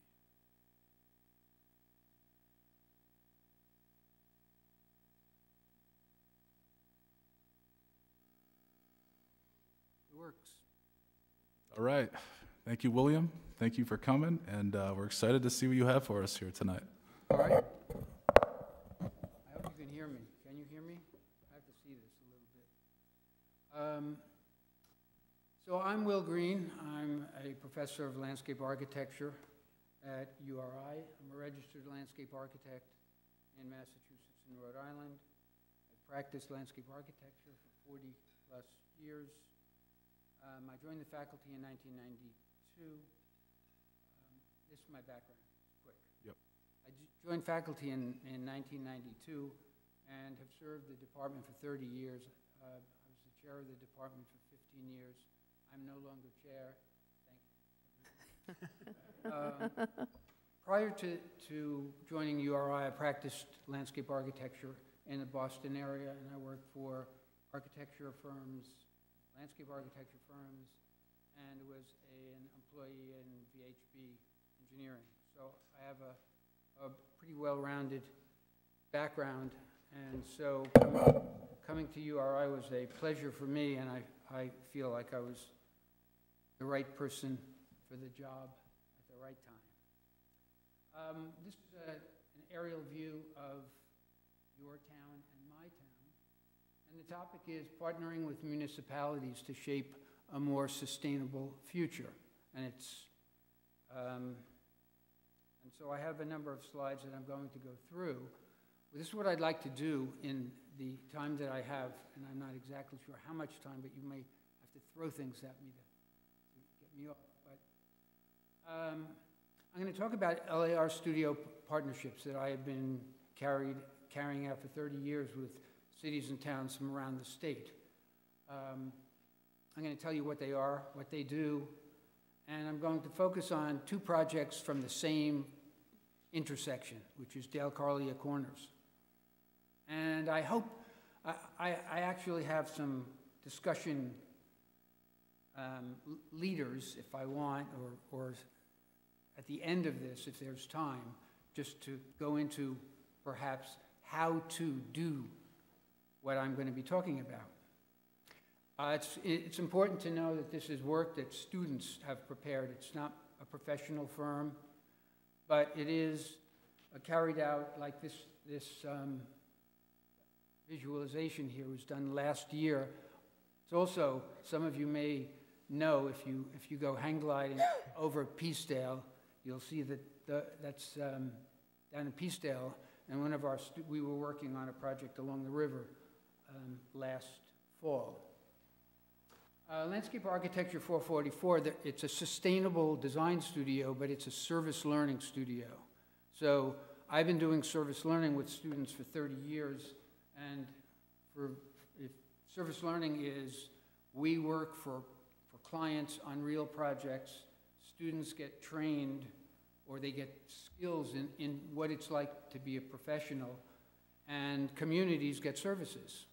They're not professional services, they're not shovel in the ground and you're ready to go. These are visualizations and ideas, but they, in most cases, they lead to other phases of projects related to the, the particular project that my students work on. These are six projects that I worked on with my senior studio, and typically it's a senior class with two to three uh, graduate students from the Masters of Environmental Science and Management or the Marine Affairs program, depending upon if we're working on the coast or if we're working inland. Um, the two that I want to focus on are the ones that come up in red, Dale Carlia Corners in 2012 and village, um, village scale um, mixed-use development for Dale Carlia Corners, Route 108, and um, Old Tower Hill Road. Um, We're all, I won't say we're all, but many of you are familiar with this sort of area. I think every one of us goes through that intersection at one time or another, uh, almost every day.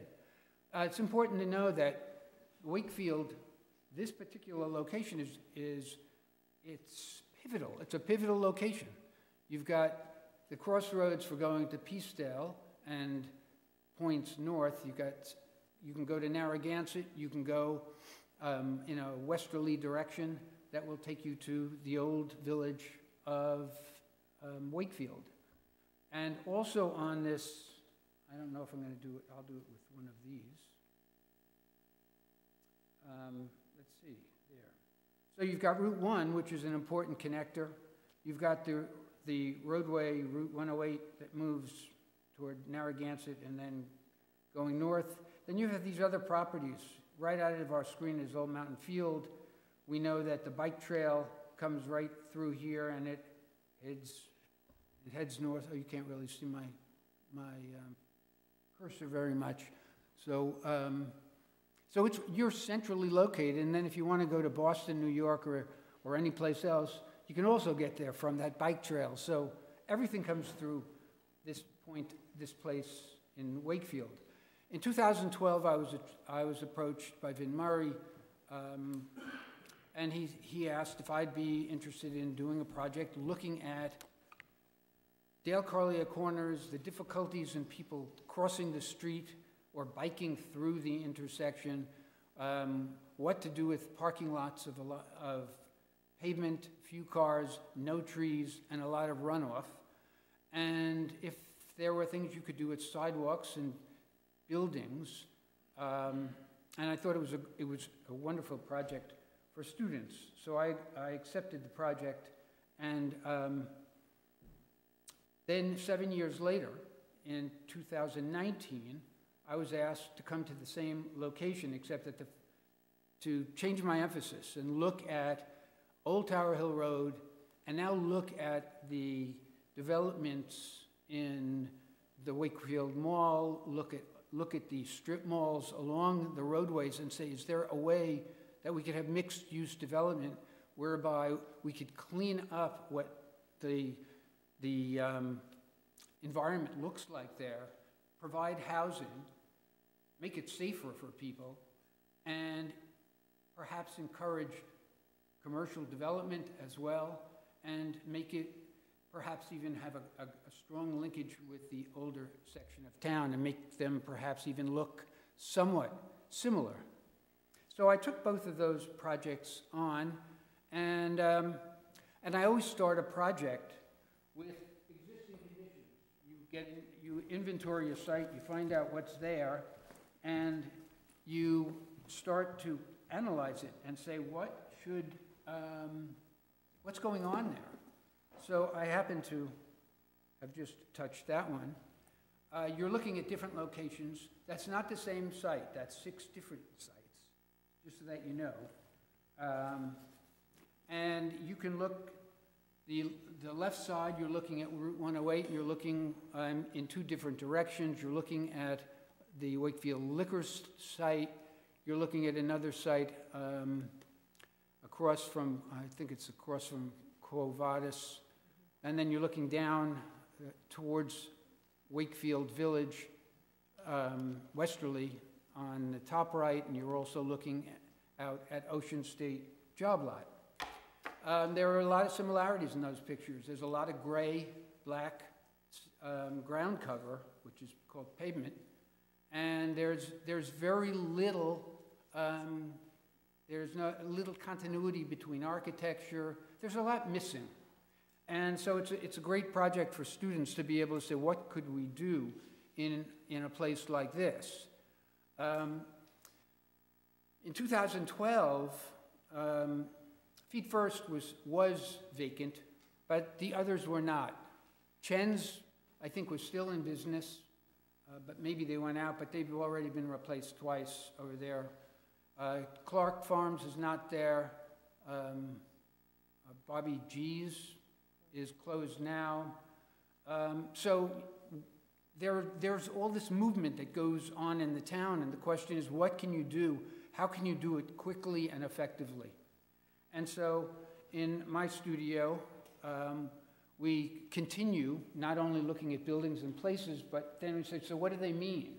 So there's three images that the class in 2012 looked at, and they said, oh, that looks like it's Ocean State Job Lot and um, Marina, uh, the Marine uh, Supply Place.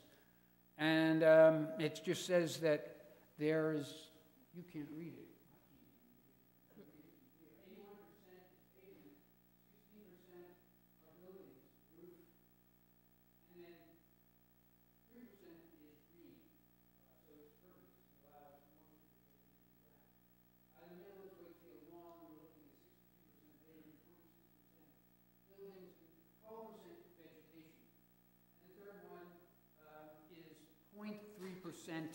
Pervious.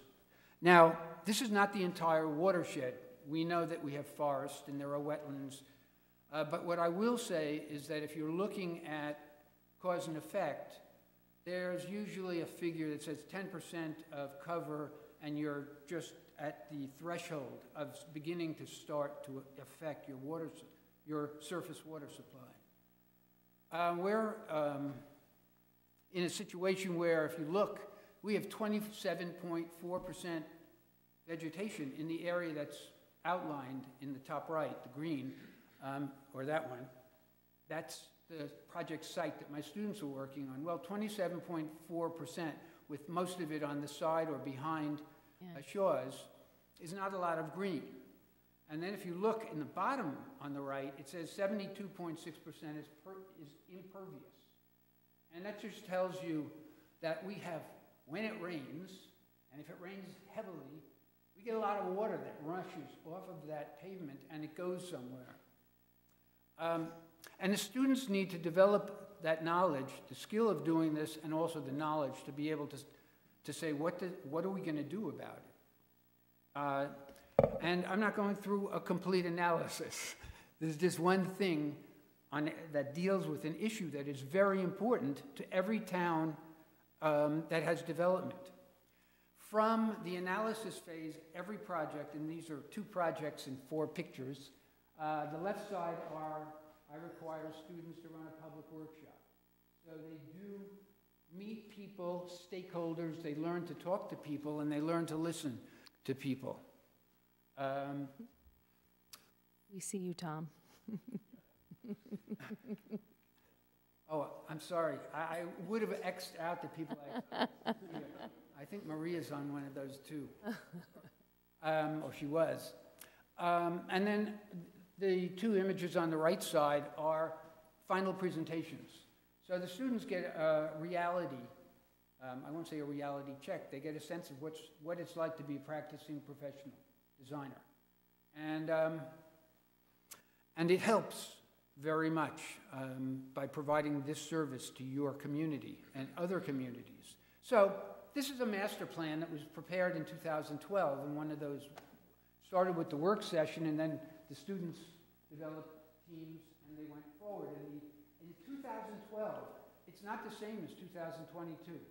Ten years later, we are reading about storms, water, fire. I mean, it's, it's crazy. But the world, we knew about stormwater in 2012. But we hear about it all the time now, and it's hard to ignore. So in this case, it just says, what are we looking to do? Complete streets is a way, it, it, at the time it was DOT program, national program, and it was just that if you're going to do streets in a community, recognize that the street is not just for cars. The streets are for people, for habitat, for water, for walking, pedestrians. And so complete streets were one of the big things, and the- goal was green connections. We were trying to say, so how do you connect from Dale Carlia or from Wakefield to get to Shaw's or to get to the bowling alley? Sorry, I don't mean to interrupt you. Could you speak into the microphone and sort of address the council? I want to make sure people watching at home pick up on everything you're saying here. I'm sorry. Uh, Okay. Um, So anyway, what we're, we're looking right now at a, at a 10-year-old project where the students are looking at increasing bus transit. If we want to get people into the center of town, they either have to drive, which is what they do now, or we need to be able to provide easier access by other means. So, strengthen public transportation, uh, calm vehicular traffic so it's easier to walk or bike. I'm sure that parents with young children do not go uh, very often anyway, biking or even walking on the street. You can't carry on a conversation on Route 108. Um, anyway, that's what the students, the students came up with this list of things that they could do, and then the design on the right actually starts to say, oh, we, we are doing that.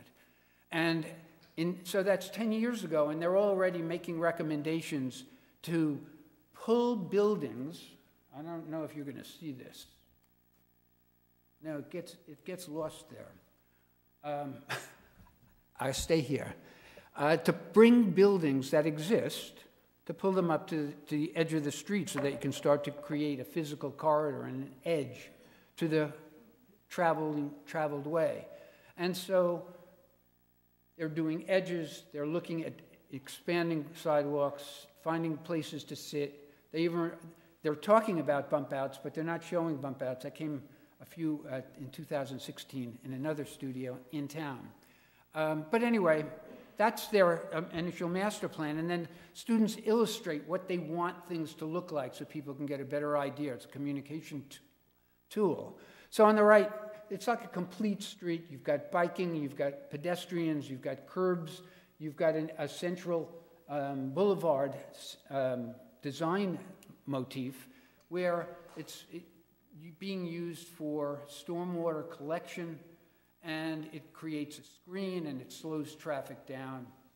And I think um, there's a section on the top that just shows where the bikes are, where the trees are, and, and the, um, the distances. Uh, this is another um, image whereby the Boaters World was turned into a health and fitness center that was connected um, through walks to get over to Old Mountain Field and to be able to, to jog and, and walk into the woods in the back. And so the students are talking about, again, pulling a building to the edge of the pavement, now, or to the street.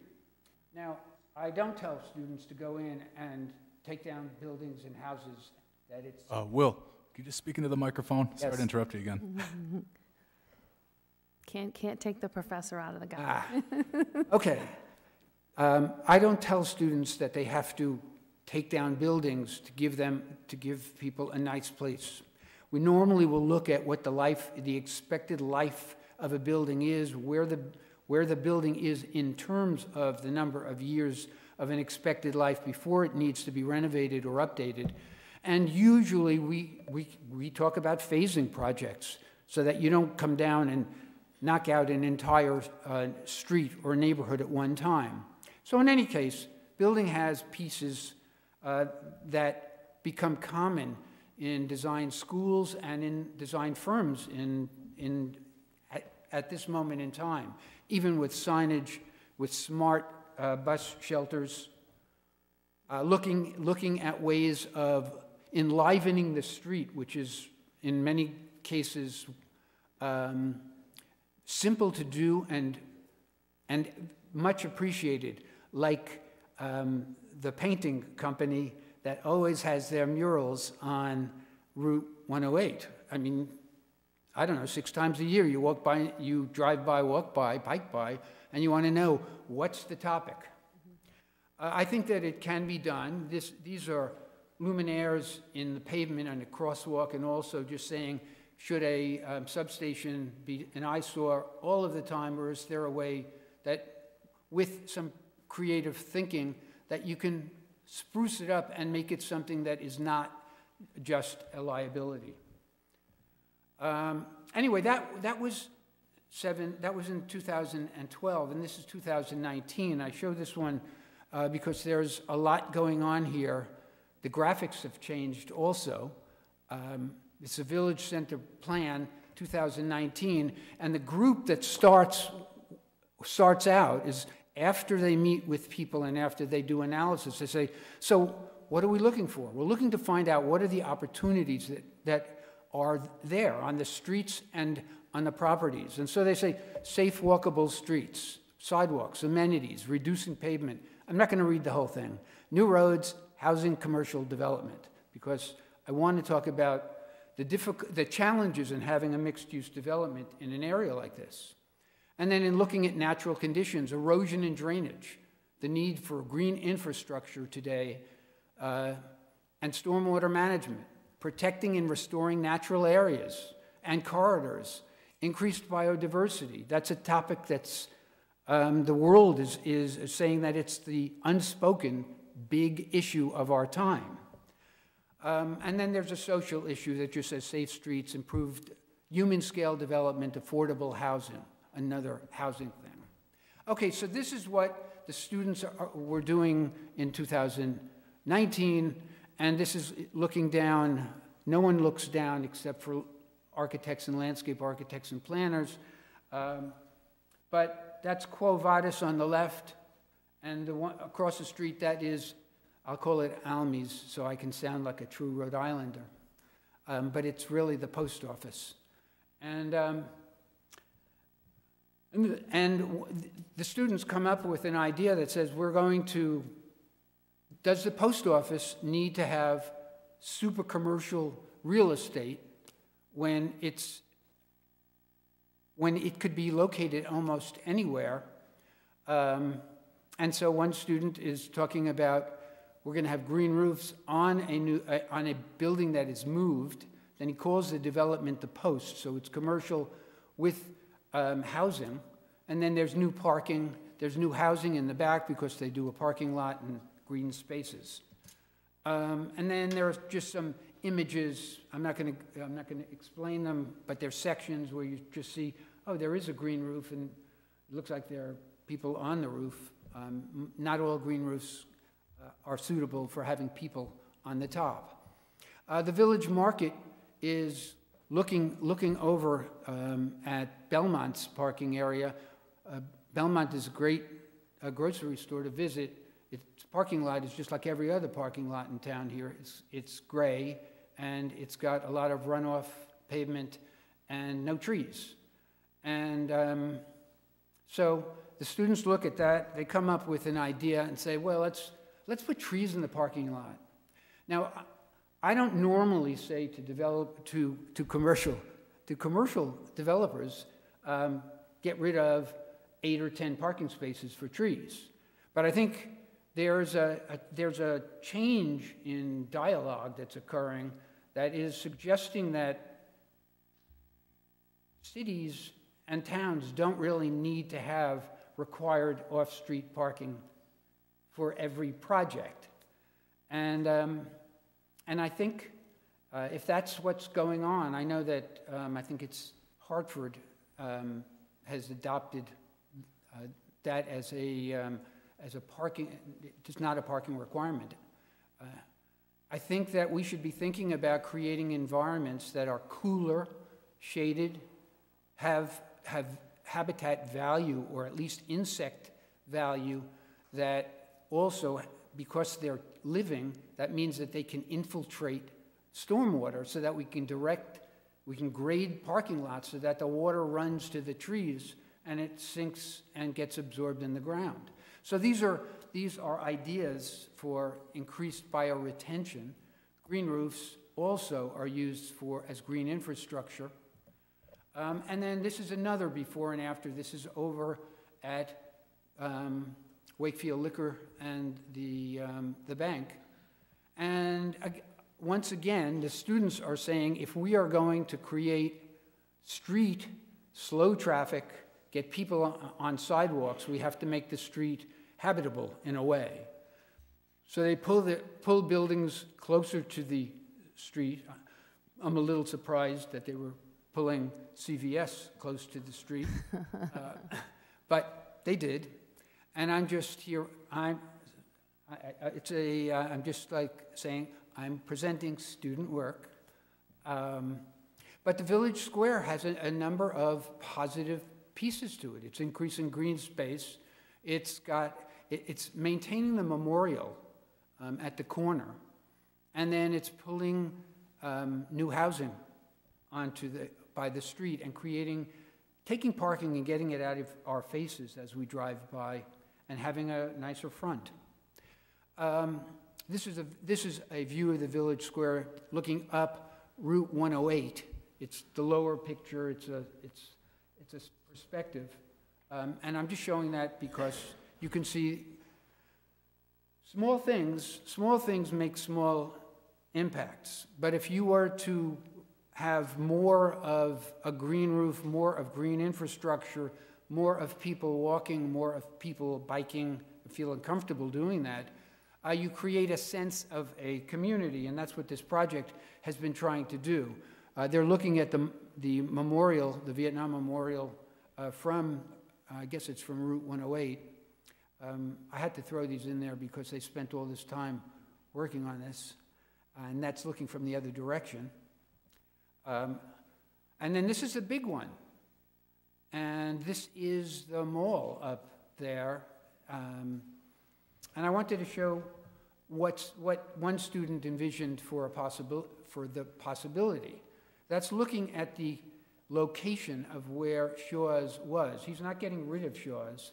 He's basically creating a structure that has Shaw's and it has a rooftop where people can live it's got shops, it's got a parking garage beneath the structure, it's got a RIPTA station out there uh, in front, it's got a green space, and it's got a lot of trees. This is the uh, aerial view, and uh, you can see poking out underneath is a parking garage. Um, these are things that aren't going to happen quickly, but there's housing in here, and um, what makes this project interesting besides the fact that I, I know that this one person, I think, was working 76 hours uh, a week on this for I don't know how long, um, is he made these images of what the roof would look like, hanging out on the roof on top of Shaw's, so you could go down and buy a tomato and then go back up and hang out there. And um, he ended up with so what, do, what, am I, what am I asking for them to endorse? Nine duplexes, 18 residential units, two bedrooms, and they calculated revenue. I'm not sure how, but it's taxes. And then they said 176 apartment units, 81, 88 one-bedroom, 88 two-bedroom, and that's potentially a half a million dollars of revenue. Um, And then it talks about the other add, added, added uh, value. 937,000 square feet of additional green space, uh, over 21 acres.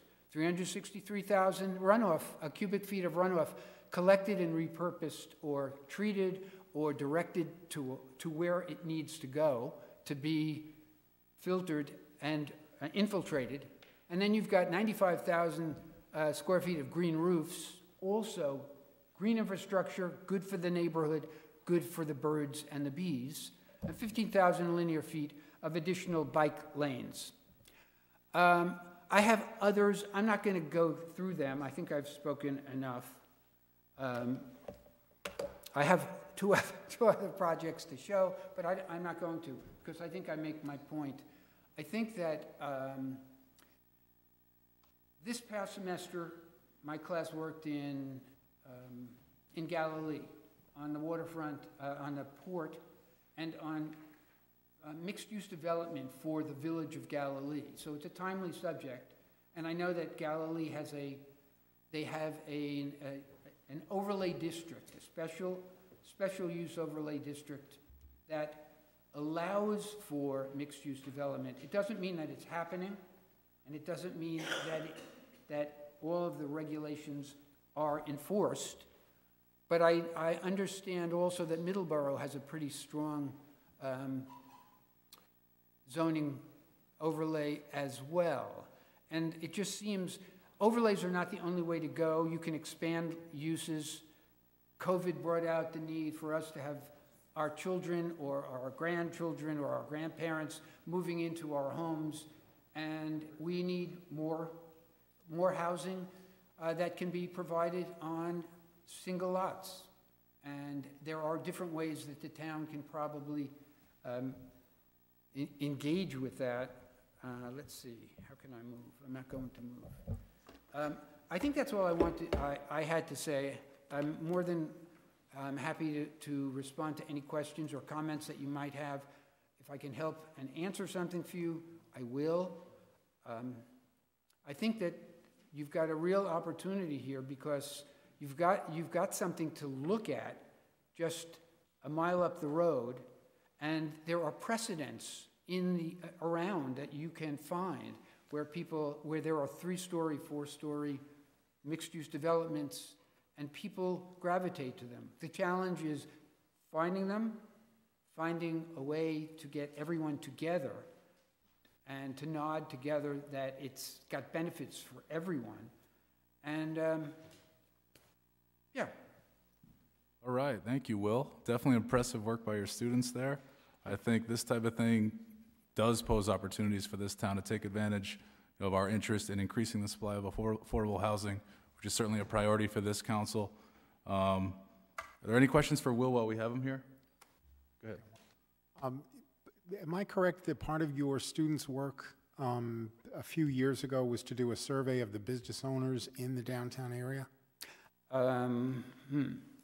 They, they are not skilled surveyors.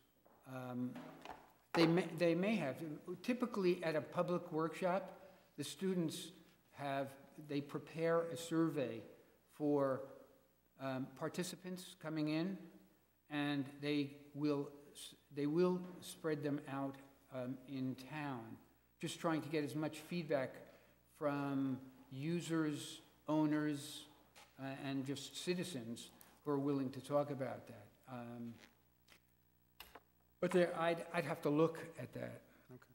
I'd, I'd be curious if, if the business community was I, uh, this semester, I had a PhD student working with my seniors, and she just, she, her work for this, for the class was just to prepare a survey for the fishers, for the owners, for Narragansett town officials, and for homeowners from the Galilee Neighborhood Organization and, and other local groups. And she had 100, she got 177 um, responses. It's not your set of of needs.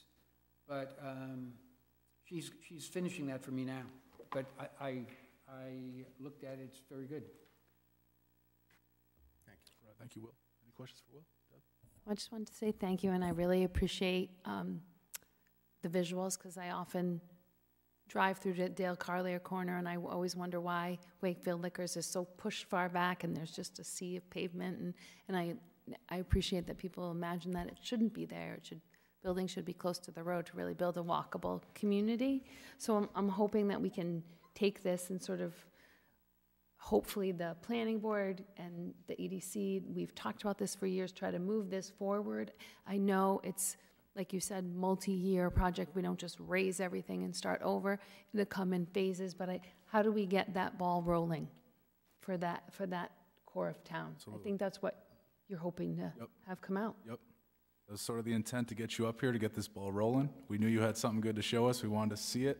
And uh, I'm very impressed with what I've seen.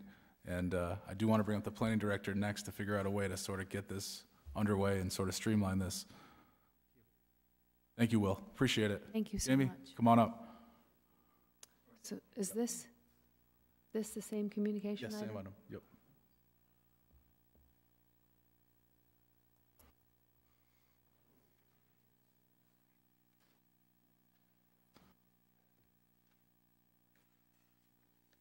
Oh, All right, Jamie, before we move to that, this is, Jamie, we're, uh, we're still talking on the uh, Bill Green's presentation here.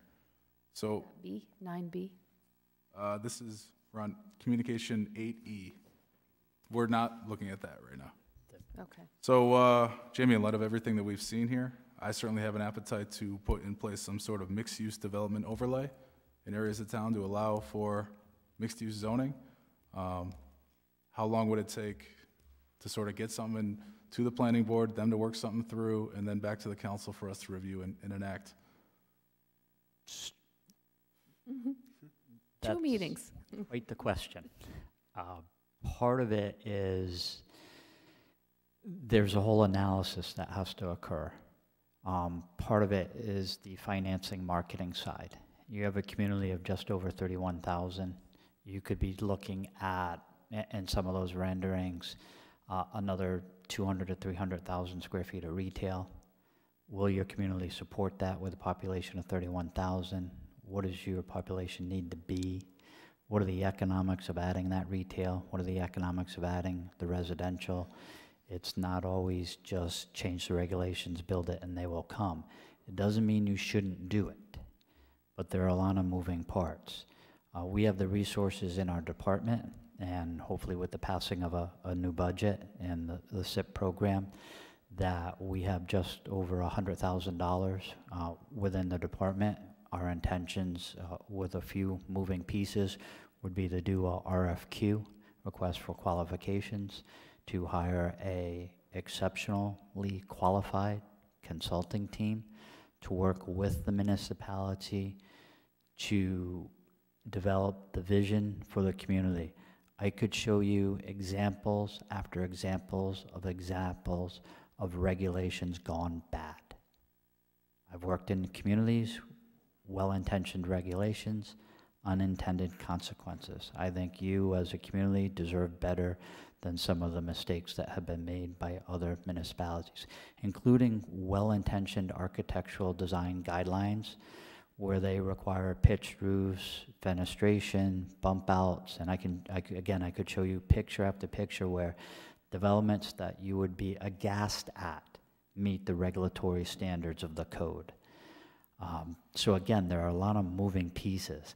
I think in four to six weeks, we can have an RFQ out, but you're probably looking at six to nine to 12 months to do the proper analysis and development of regulations.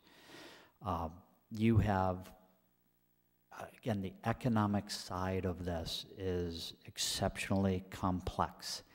To go to a, a property owner and ask him to do a two or three hundred million, some of the renderings you saw are two or three hundred million.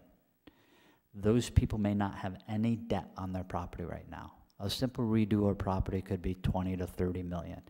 For someone who has a fully leased property with no debt, you're gonna try and convince them to move their tenants, tear down their buildings, rebuild the buildings and reinvest in their property and take on debt in an unknown marketplace because the retail aspect is changing almost daily.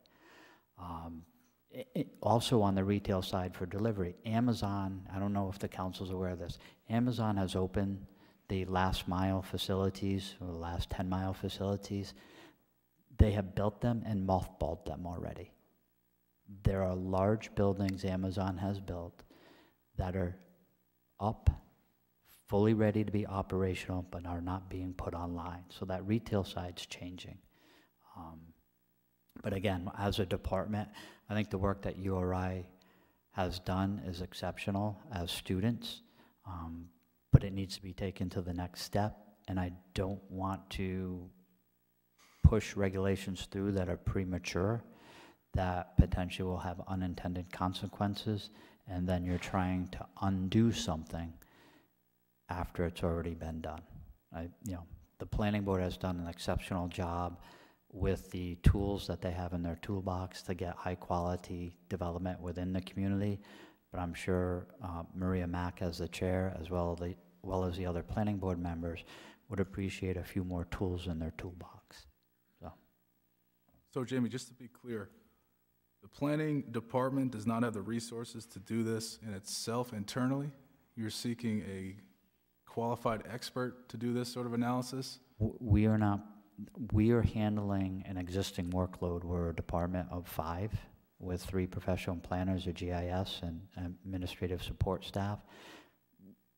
We have some of the technical expertise in-house, um, but finding those blocks of time to accomplish a well-involved and engaging study is, is difficult. I have some skill sets with form-based code and architectural standards.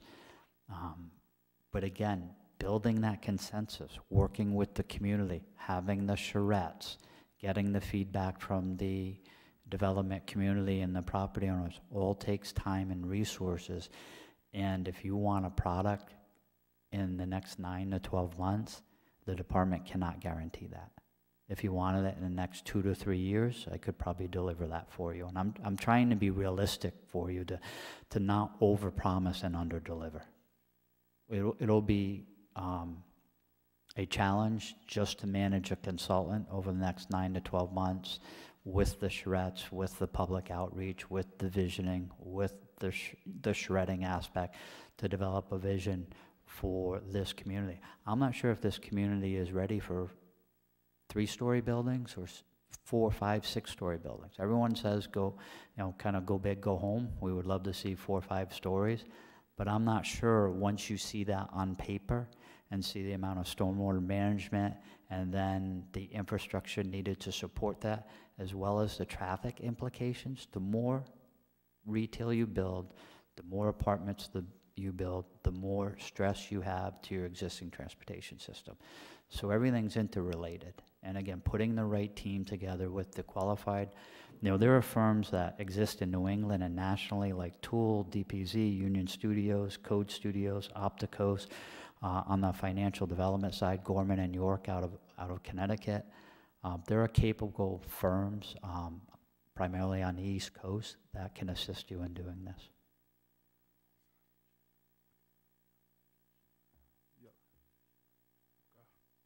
We do also have the chair of the EDC here, if he wishes to speak on this.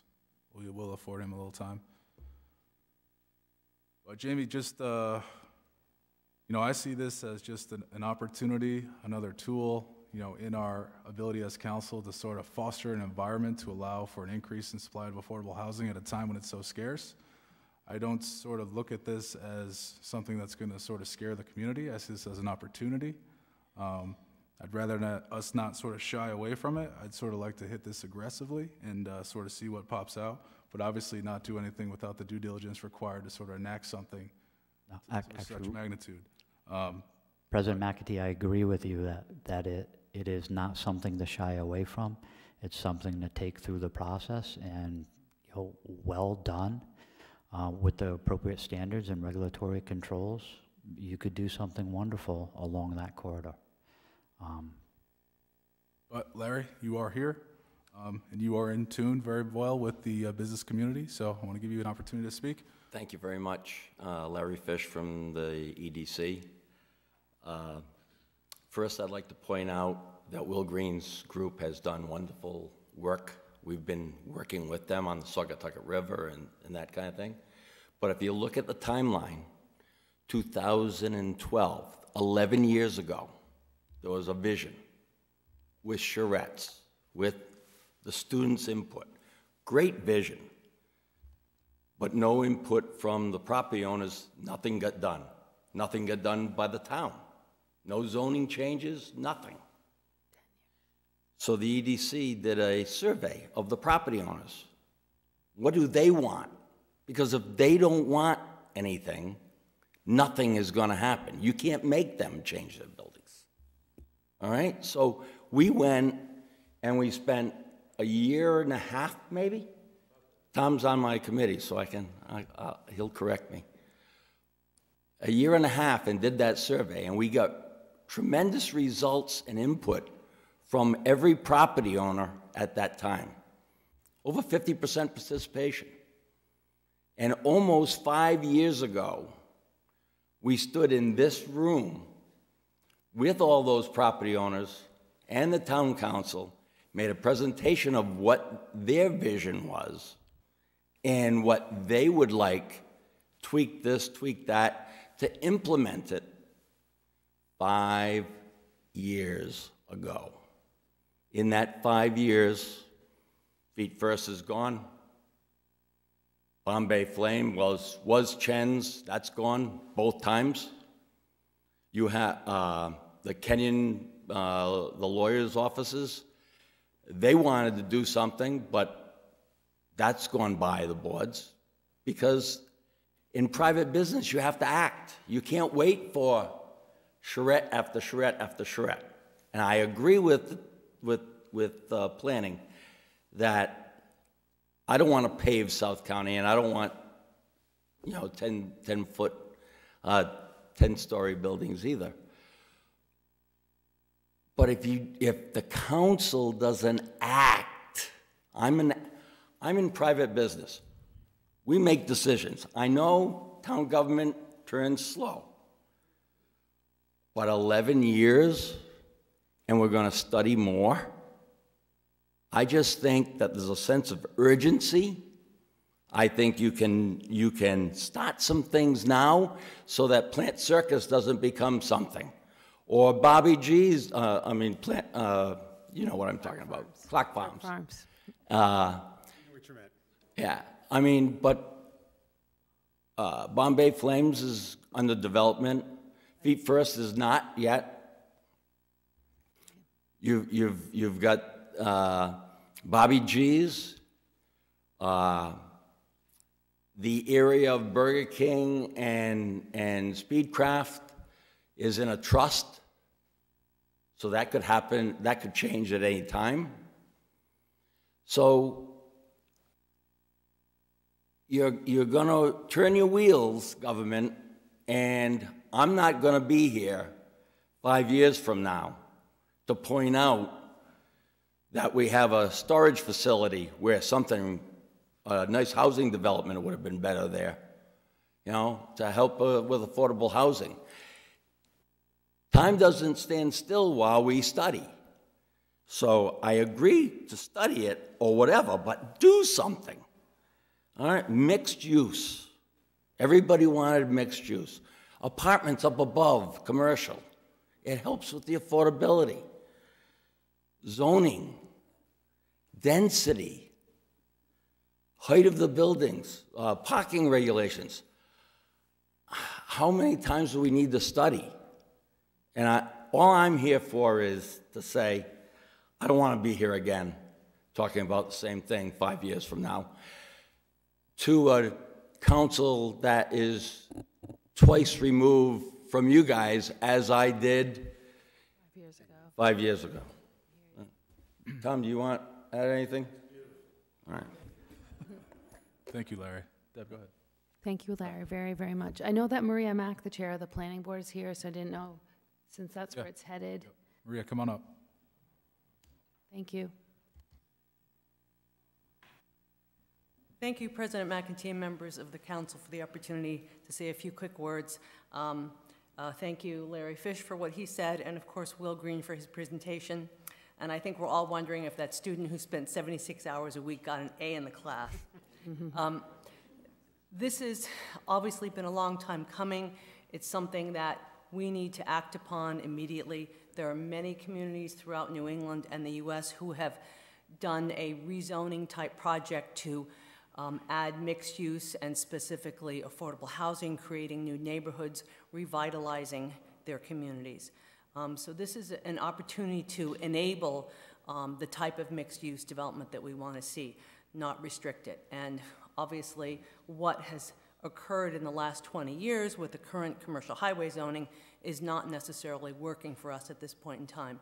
So I would urge the council to support an endeavor such as this. Do you have any questions? Thank you, Maria. Any questions for Maria while we have her? So- Maria, do you, I got one question for you. Do you agree that this is going to take six to nine to 12 months, or do you think this could be sped up? So I'm not the budget person. However, um, if you find the right consultant and you get moving along fairly quickly with this, again, a lot of what the consultants do is they look at other zoning regulations that have been adapted for other communities, and they do copy them to a certain extent, and then they tailor them for a particular community. So it's not always like they're starting from scratch. And I think that if you find the right person that is, um, has a lot of uh, projects in this type of a community, not just enormous urban uh, areas.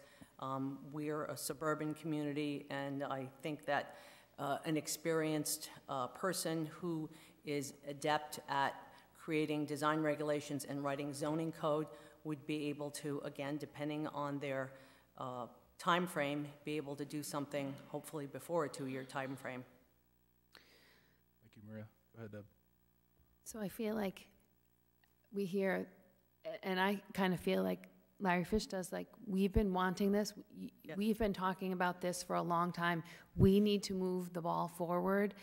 But then I also hear and think in my head of all the things that the planning department is already working on. And so when you think about the rescue funds, you talk about, uh, you know, there's boards and commissions working on the Saugatucket Park project. There's boards and commissions doing, you know, multiple projects that come through development. And it just seems like there are not a lot of people to do the work. And then you think you're gonna have these public meetings and then synthesize all this information and run the charrettes.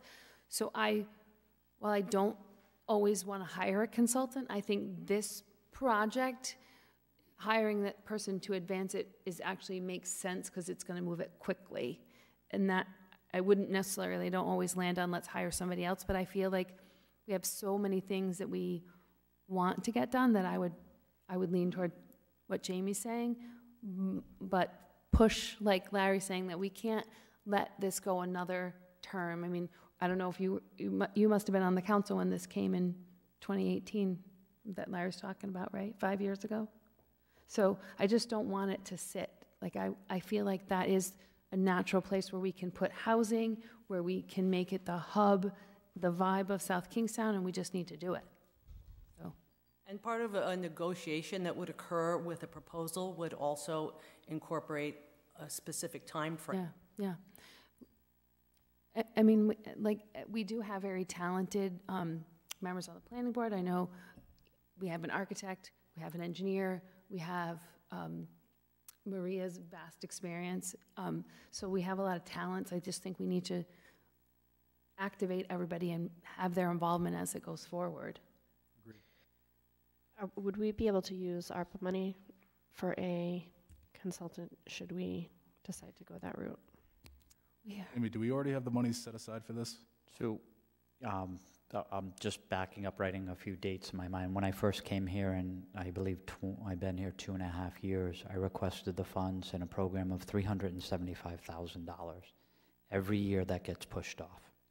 So, as a planning director, I saw the need, I asked for the funds, and again, I understand it's a competitive world. There are, sometimes paving roads is more important than fixing a zoning code, and I absolutely understand that. You have a, as part of our, the manager's report, There's an update on Horsley Witten and a memo written on January 6th to the town manager. You'll see how we're, the department's trying to cobble together funds from different sources. Um, being able to cobble those funds together in this fiscal year, along with an additional appropriation of SIP funds, it is now time where we feel we can tackle this project and have the appropriate resources and, you know, not start it with fifty thousand dollars and then find out we don't have money. We have money to study it, but then we don't have the money to create the regulations. Hopefully, we have the funds available um, to do it all. We can potentially look at American rescue plans, but I would like to do it outside of that. Um, Again, as I prepare my department budget, I'll be asking for, again, consulting fees, and potentially that, there'll be a slightly higher ask for that, for this year, to accomplish what you're trying to um, do. Right. So this is certainly a priority for me, and I think uh, this council as well. Um, I'd like to see this prioritized. If we can get this pushed up to the five to six month period to get something in front of us, with Jamie, you monitoring a uh, qualified consulting team, that would be best. I'd rather not this. I'd rather not see this go out a year. I'd rather see this sort of expedited, obviously with the due diligence needed to make this right.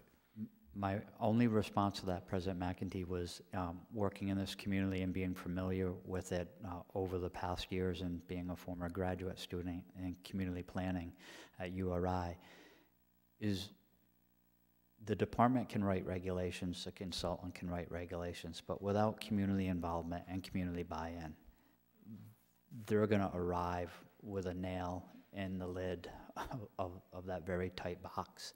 Um, so again, five to six months, we can go away, we can write regulations, but there needs to be buy-in, and this needs to be community-driven. Mhm. And Larry Fish uh, appropriately articulated this evening that the EDC is on board.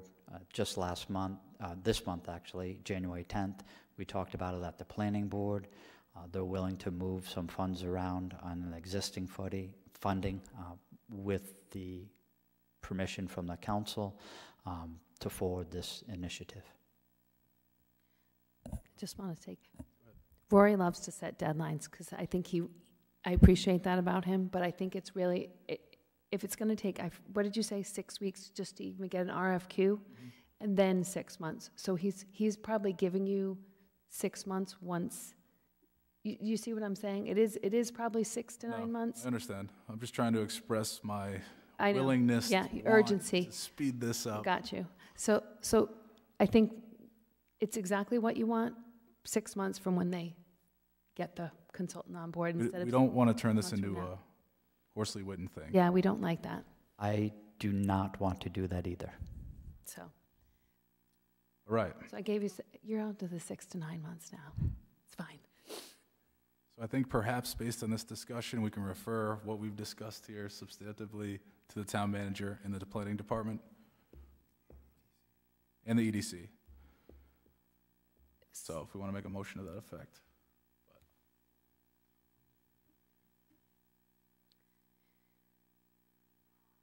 No. You want me to do it? Okay. Oh, all right. So moved. Second. Okay, we have a motion and a second. Any discussion? Anyone opposed? All right, that motion passes. Thank you, Will Green, Larry Fish, Maria Mack, Jamie Rabbitt. Appreciate all your input on this. Very good information. At this point, we're going to move to the town manager's report.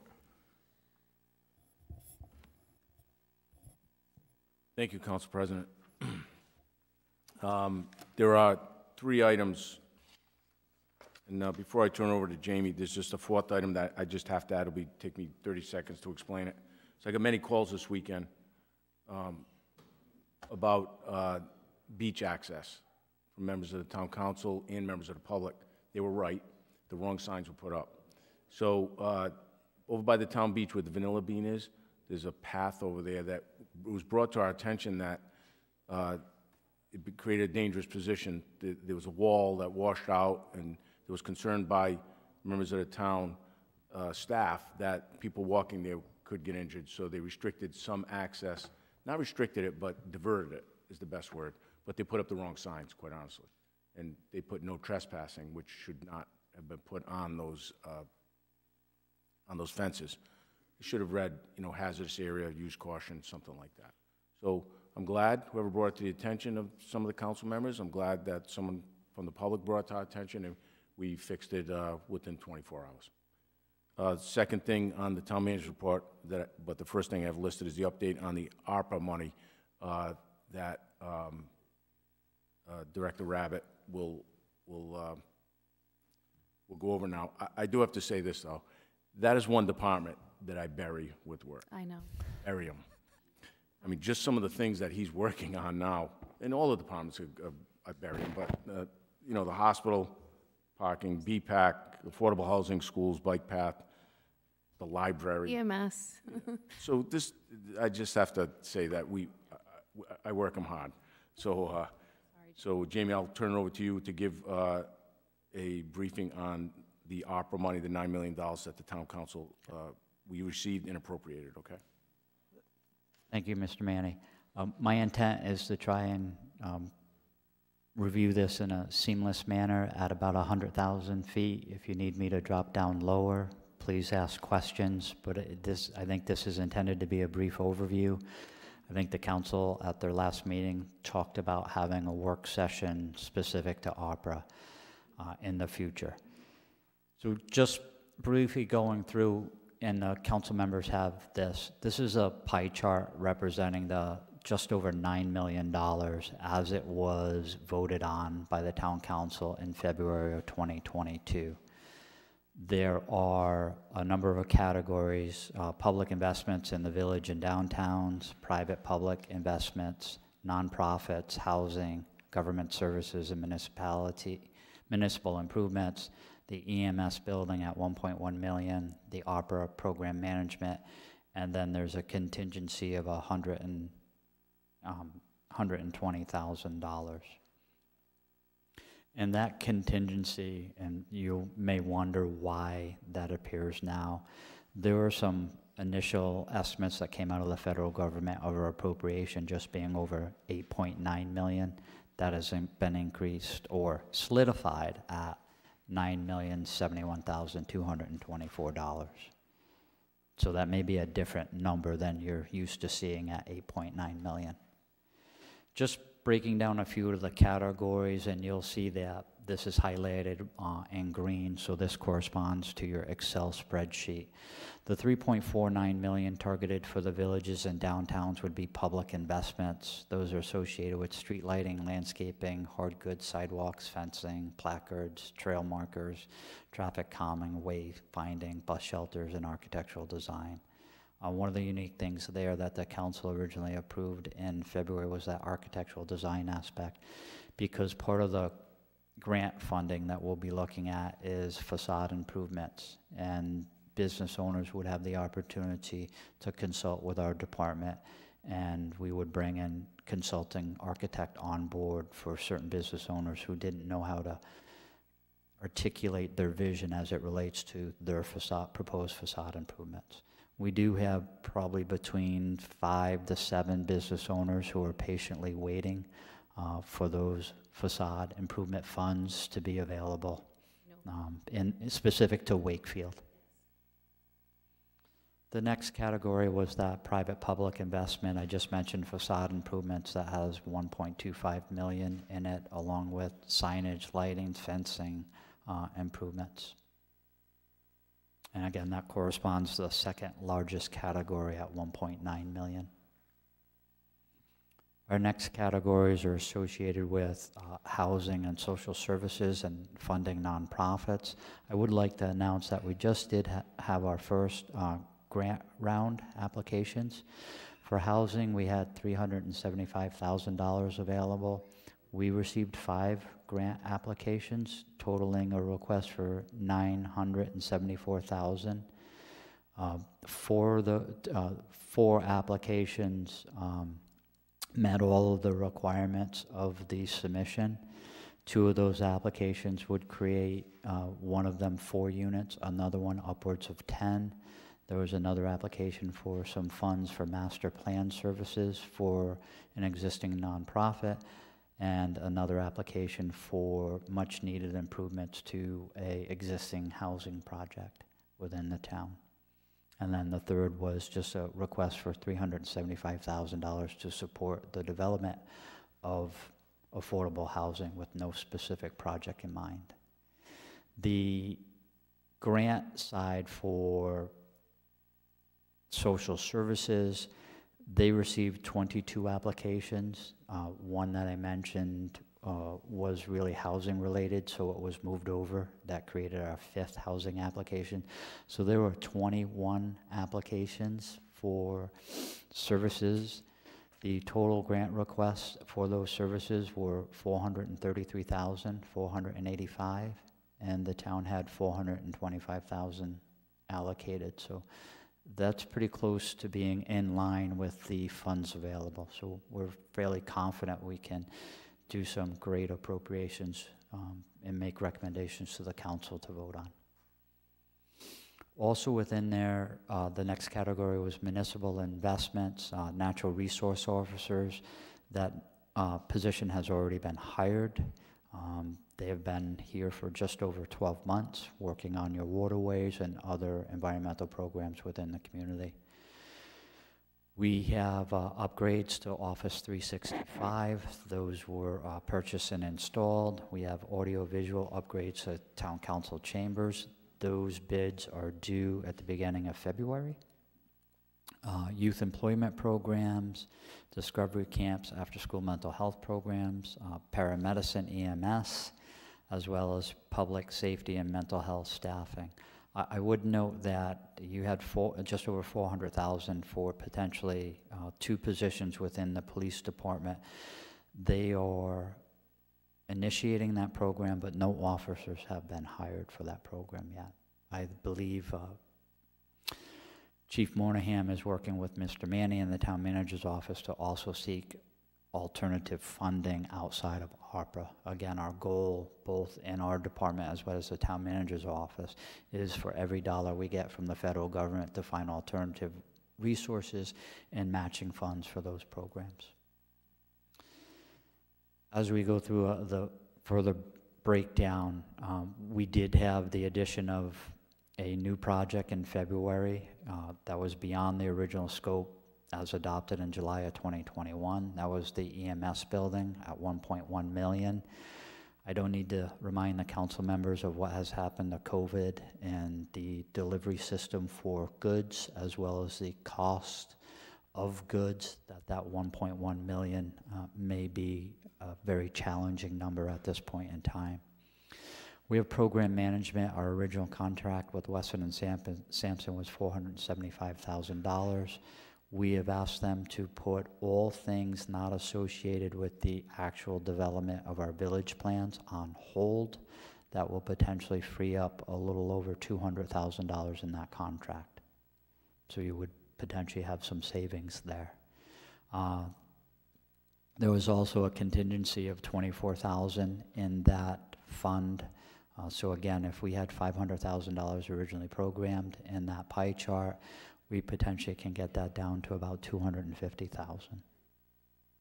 With a little bit of slippage, maybe three, but again, 200 to 250,000 dollars in savings on that Weston and Sampson contract.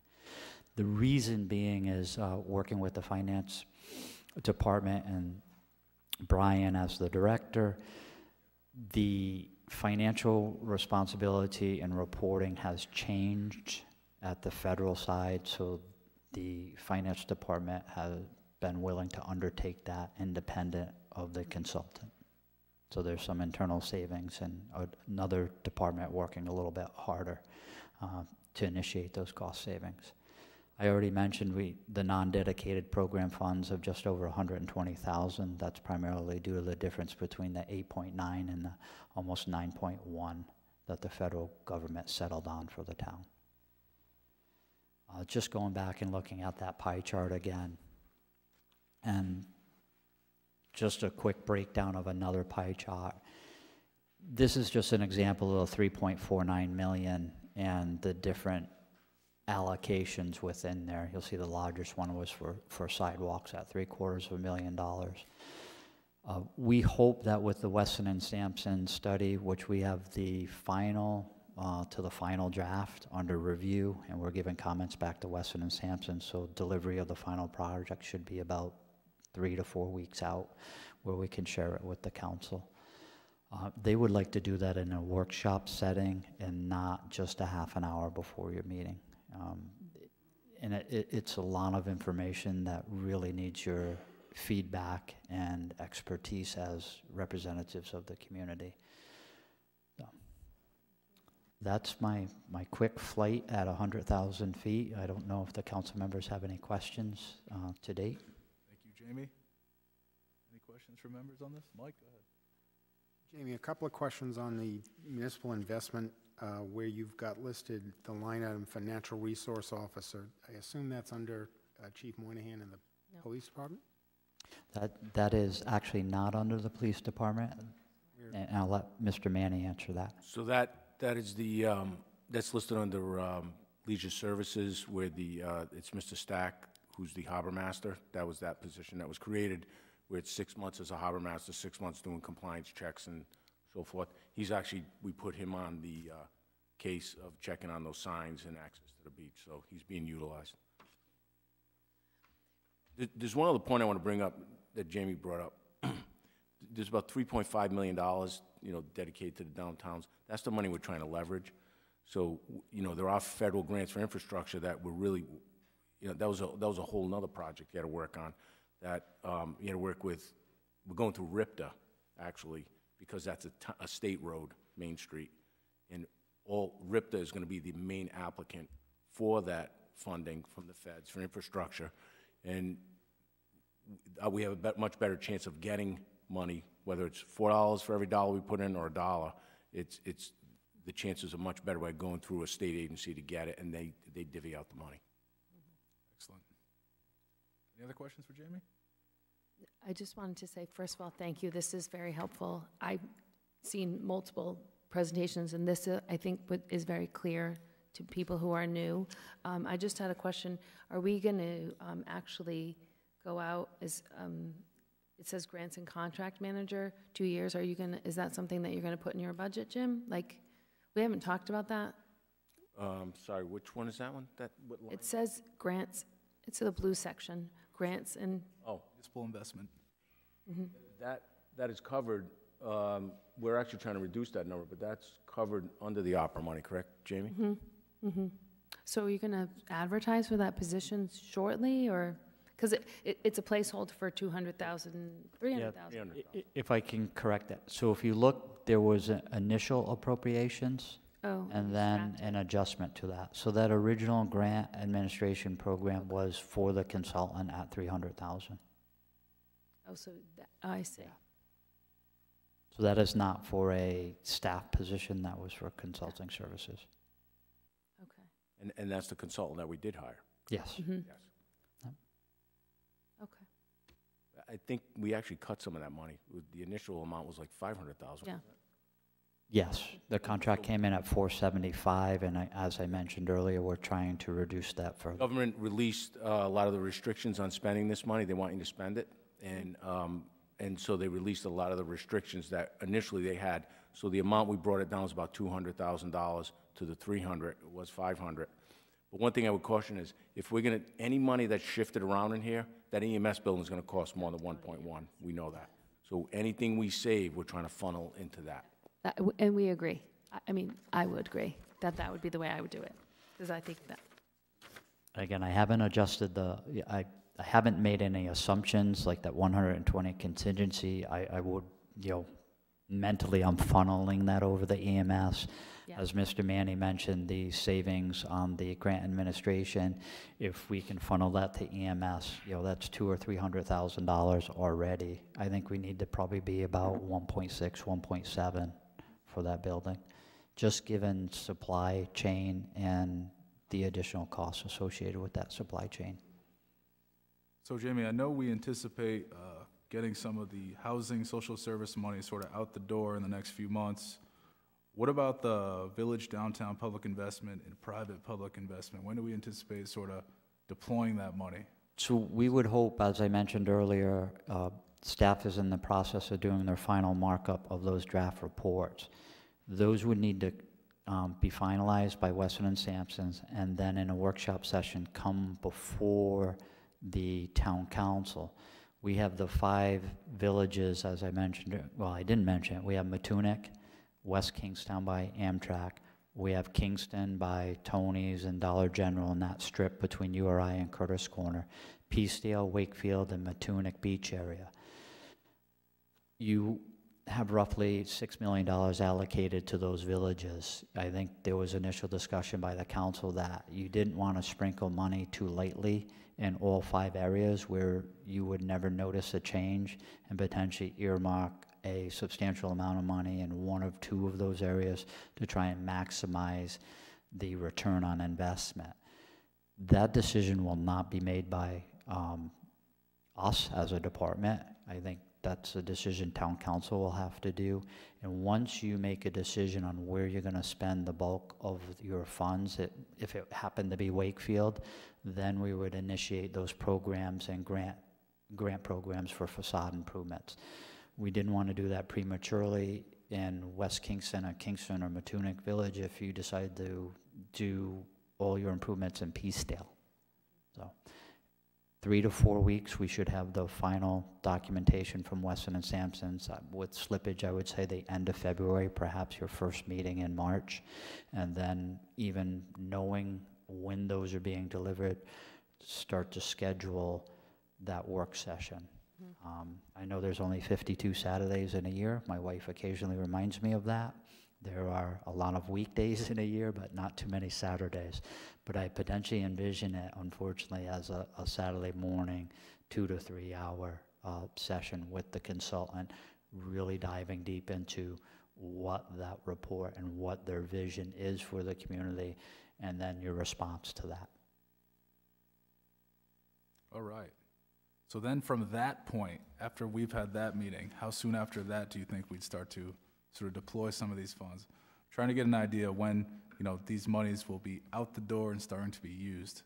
Uh, I think if you, if you, in early March, had a workshop and made decisions on where your spend plan is being focused, uh, we could, in early spring, start to do those grant um, forms and application process, and uh, maybe by some, summer, early for, for, uh, excuse me, early fall, start to distribute those facade improvements.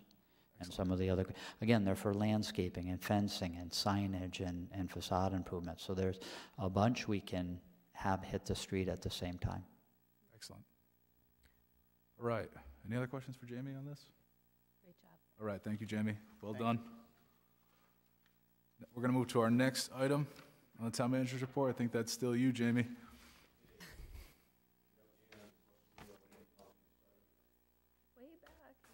If you just bear with me, I'm just going to log off.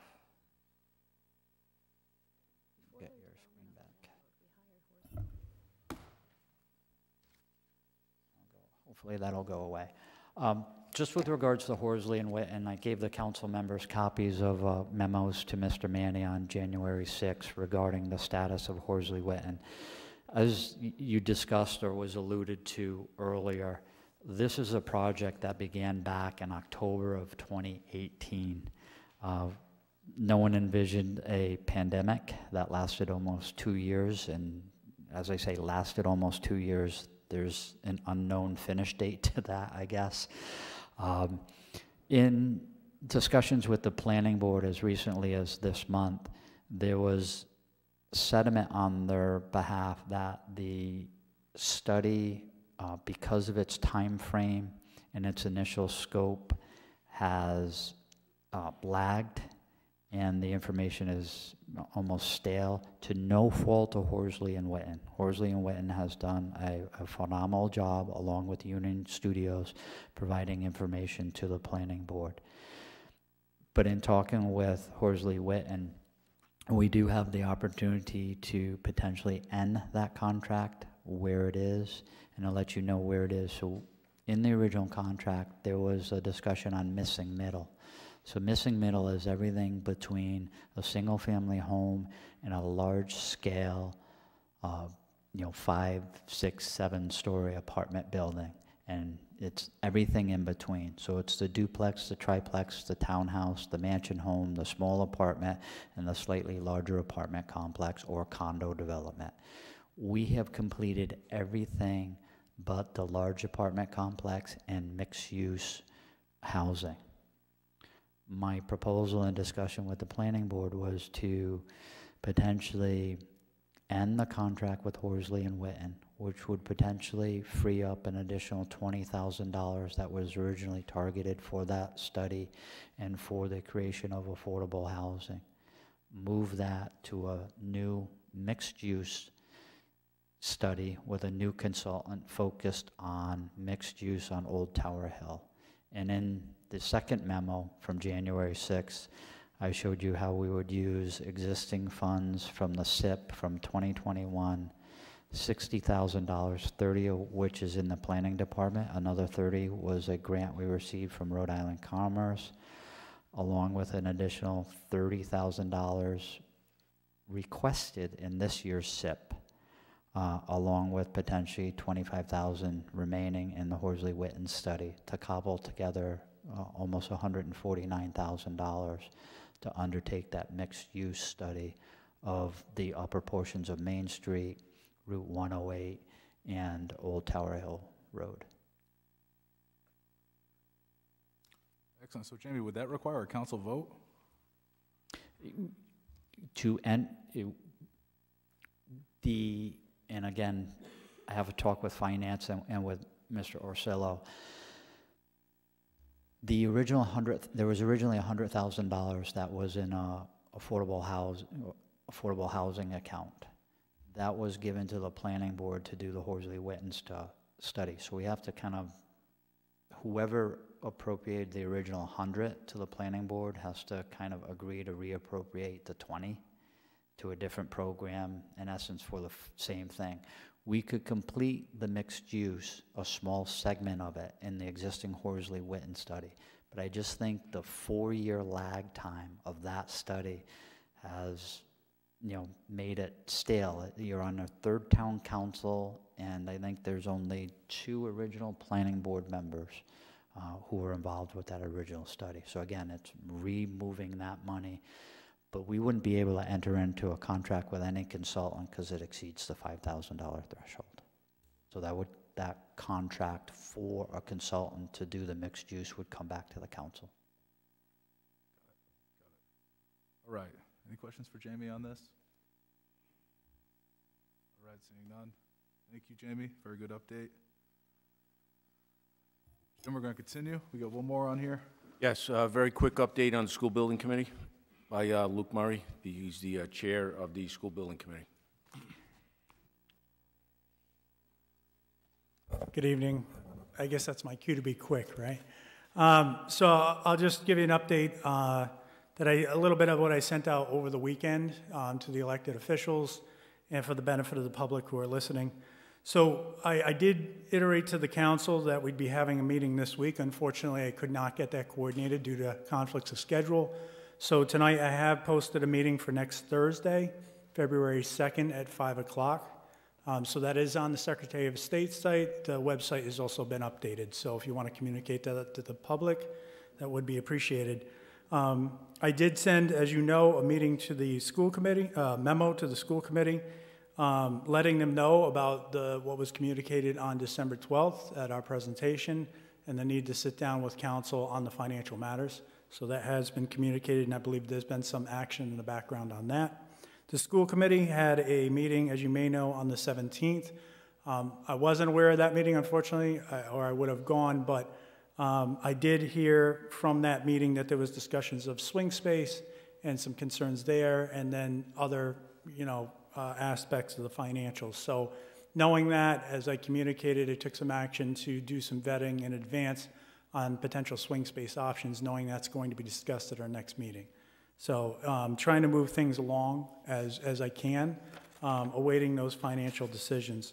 Um, wetland flagging has been taking place at CCMS and Broad Rock, which is really um, intentional to start vetting out athletic facilities and seeing what our restrictions are on both sites. So again, trying to keep that data gathering going, awaiting decisions. I've also been reached out, reaching out to um, RIDE on what's called the Facility Condition Index. We initiated a study of both Wakefield Elementary and CCMS to get an updated index because that could affect our bonus structure moving forward. So if we are hit a 65% index, we would be eligible for that additional 5%, which would push us up to the 52. So we're hopeful that that will be the case. Um, that wasn't the case previously, so RIDE recommended that we move forward with that study. Um, and then, as I iterated, we are looking to get a project master schedule uh, together for the public to ensure that everyone is aware of what the process is upcoming. What I've communicated to the architect is start with the end date and work backward. We need to know each hit, date, and milestone and what the critical dates are.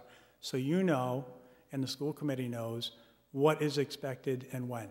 Because if we don't hit those dates, as you know, we're on a very restrictive timeline, then it's my job to communicate that very clearly and let you know that those dates are coming and we need to, to move action. And if we don't move action, it could cause a disruption on the project. Um, very last, I, I've iterated in my email about the appointment of another school building committee member. Um, it's becoming concerning for me because we've been operating as a unit of eight, which is the even number, and we haven't had uh, another member, that, that last ninth member, show up since day one.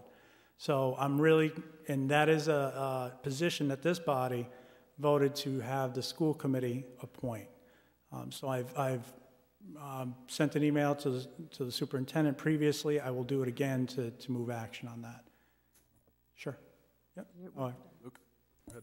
Any questions? So, working backwards from what you said, so I would suggest that when you, that we ask Mark Prince if he can't appoint somebody to just rotate the principals through, because it's supposed to be an educational visionary, and he- you could just rotate through your bench, and he could do that. So it, we have talked about it, and he, ha- he, they've talked about it at meetings. We, we should ask, if he can't name one person, have all the principals. It's, we, it's one school district, so put them all up through it, and they can all rotate. We do that, Mike. Yeah, It's on the agenda, yes. No, no, no. Oh, I He- mean, to have a, nine people on a committee, one of which is not an actual named person, it's just a title? You have lots of discretion with that committee. Okay. Or, or we should, we should find someone else. So I, I would say, I- I watched their special meeting. I recommend that you watch their special meeting. There's a lot of good information there, and they have, a- they have a lot of good discussions, w- one of which is the CTE, early childhood really has to be a CTE K to 12. There's a lot of discussion about swing space, money, all this stuff. I want to, we could recognize, I think Carol Vetter, we could, we could either put, ask someone to go on. I always speak with Carol Vetter, who has a really good command of the numbers, the enrollment, the capacities. And if I have questions, I was asking her all of those questions. I, I recognize that we can't all do that, but putting another person who's invested in the project, that might be another option. Um, I also want to note that Melissa Boyd asked for the school committee, and this is for the public, that they have a special meeting once a month where they only talk about the school facility bond. I think that was a great idea. I think you all got that email. Just to, it can't be done in their two-hour business meeting. So They, they, and so her asking for it, I think is a good idea, and hopefully the community will get on board and attend. I think that's really important. Um, I also feel like just watching it for two hours, I think we all need to be in the same room to learn together. I think they are pu- putting out information, and then either I'm relaying it to someone else or relaying it to Jim. And hearing all of that, we would have all benefited from understanding how challenging just the preschool, relocating the preschool is a challenge. And so we, we just need to, either we need to have an identified common meeting where we meet and learn whatever they're learning at the same time, so we, it might reduce the lag. So something to think about is once they know when their meeting is, if we want to tag along and come or have it here. Because I think we're losing even time in the um, um, information passed back and forth. It's a challenge. If they're not going to meet till February, we're already into February. So, and I also think they don't understand a lot of the questions they're, or what we're asking for. They spent a lot of time asking, saying, we don't have this information yet, but we will get it. And it's the same information that we're still seeking. If, they can realize any savings and what do they really need for a project, um, there's a lot there. There's a ton there. And uh, I- we just need to figure out how we can be active in supporting that. And I think common meetings would help. At least, I don't know when we're having a meeting with them as a group. See, see, the, We've requested February 9th, but haven't. We requested February 9th. Uh, I do not believe we've heard back yet. So, okay. S- This, I, I got the impression that it's a lot of nobody, they think the school building committee is supposed to do something, school, school building committee thinks the schools committee is gonna do something, and we're sitting around watching. So, i- that, if you, i- watch the meeting, and you'll see, I think all being in the same room could advance some, some of these things a little more quickly. You're nodding. So, just the preschool alone was a lot of information. There's no place to put the preschool. I mean, their suggestion to go back to South Road doesn't make any sense. Oh, it's functioning fine at Wakefield. Let's not invest resources flipping the preschool. But if we don't sit in the same room, we don't, we wait weeks Yep. to transfer information. So We're uh, nodding. the school committee receives the budget from the superintendent on February 14th, Tuesday. I'm hoping by that time that they'll have more information to answer some of the questions that we've been asking, uh, specific to the uh, school facilities. So I'm thinking maybe February 16th at this point. I mean, I don't see how they can say at that point that they don't have the information yet. They're not willing to do the 9th, which we don't know yet. So, so 16th should be, I think, A I lot. think the original plan was to try and get them before the February 14th to give the council a heads up on what, so that's why I think we asked for February 9th. Um, But like I said, we have, it's not definitive, we haven't heard anything yet. but if we can't get the 9th, there's no reason we shouldn't be able to get the 16th. So a lot of their conversation was, we don't know what the governor's budget's gonna be, so we can't tell you. But what the governor's budget, but it doesn't matter what the governor's budget. We were asking, could you say, did you save any money? Like, that's a finite number or a number.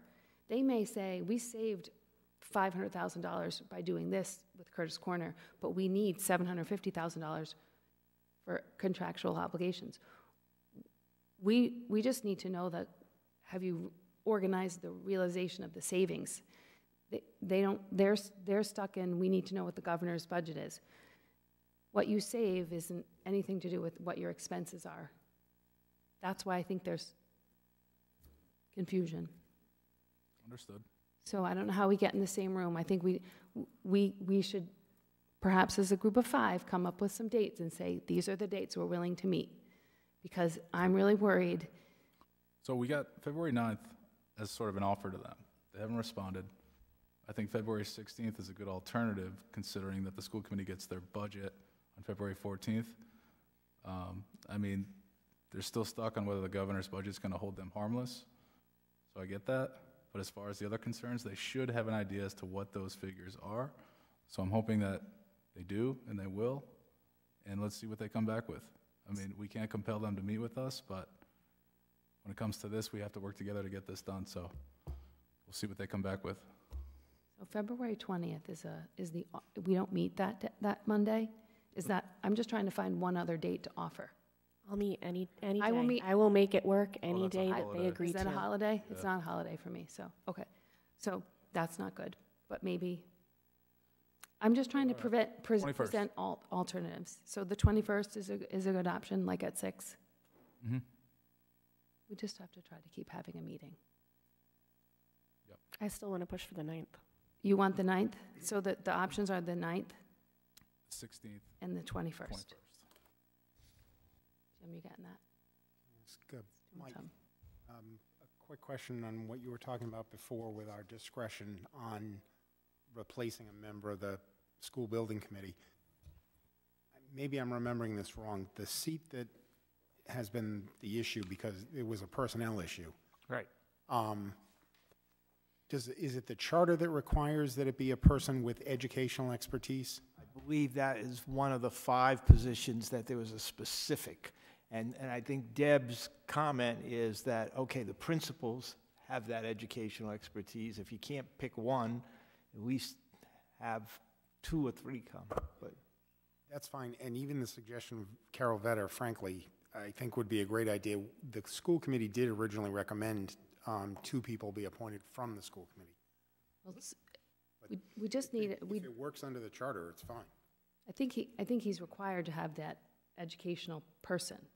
So I think that's the issue. I think we just need, I don't understand why it's so hard to solve that problem. So if I may, that, that is actually a RIDE requirement. It's not a charter requirement. And RIDE is pretty flexible on that. I've gone through this before with them. Um, I've seen some building committees throughout the state have uh, committee members, school committee members. They can be teachers, they can be principals. Um, the way it reads is knowledge of the educational mission and functions of the facility. So anybody who has general knowledge of how schools run, that's what they're looking for. So I don't think it has to be associated with specific position in the organization. Makes sense. All right. Thank you, Luke. Uh, Any other questions while we're here? Okay, we're going to move on. We're going to move to item 10, comments from interested citizens. Sorry it took us a while to get here, but at this point, I ask you, anyone who wishes to speak to come on and address any issue they like. I just first ask that they identify yourself, and we're going to limit you to five minutes.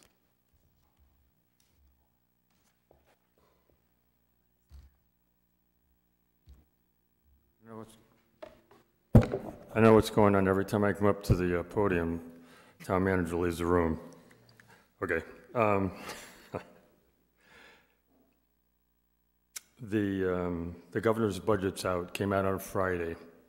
And in fact, the school district is getting more money than they got last year. So that's the good news.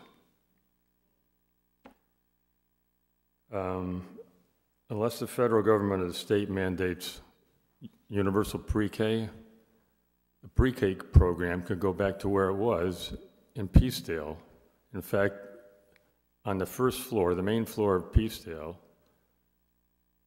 there's a whole little, I think it's the southeast corner of the building, that first floor. Those, all those classrooms were, were created for, for pre-K small, small, you know, small desks, the, the, the toilet facilities, everything, it's already there. But I taught, I, I just want to stop. I, I asked Carol every question, and so she said that the Peacedale is going to have the whole, the fifth grade stay, it's going to be full. We taught, we, it's, it's at four fifty right now. If you hold the fourth grade and the kindergarten comes in, you're going to be full at Peacedale. Okay, She said she might, ha- th- there might be one classroom. In terms of capacity, it's not going to work right now. In terms of equipment, it could in a year or two. okay, um, I defer to Carol. Just saying. Carol, so, um, sorry to do. the workers' housing thing that I mentioned before, you know, with, uh, Columbia Street, you could probably, at a minimum, you could get like hundred units in there, but it probably could be more. You could also have a, a mixed retail on the first floor on the Columbia and, and the, the three-story building next to it. I think, I think it's worth looking into, and not just gutting the whole thing and destroying the, all those, that entire facility, when we could turn it into affordable housing, which is workers' housing, which is, which is town desperately needs for our police, our police, policemen, for our nurses, for our te- younger teachers, for just town residents, low and moderate housing, we're, we're, we're, we're crying for it. But all we do is talk about it. Um, The CIP. Um, One thing, if you've ever been to uh, the the- recycle facility on- on, on, uh,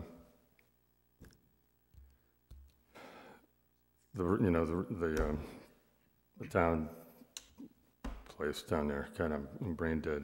Broad. Rose Hill, thank you, sir. Rose Hill Road. we have the free library. It's made out of cinder block. It's, it, it's a dump, okay? People use that all the time. You go there on the weekends, that, people are in there all the time. It's dank, the roof, the, the trim for the roof is, is rotting, the shingles on the sides, on the, on the, on the peaks on either side need replacing, the, it has no heat, no light. It, you know, I mean, we can do better. It's town property.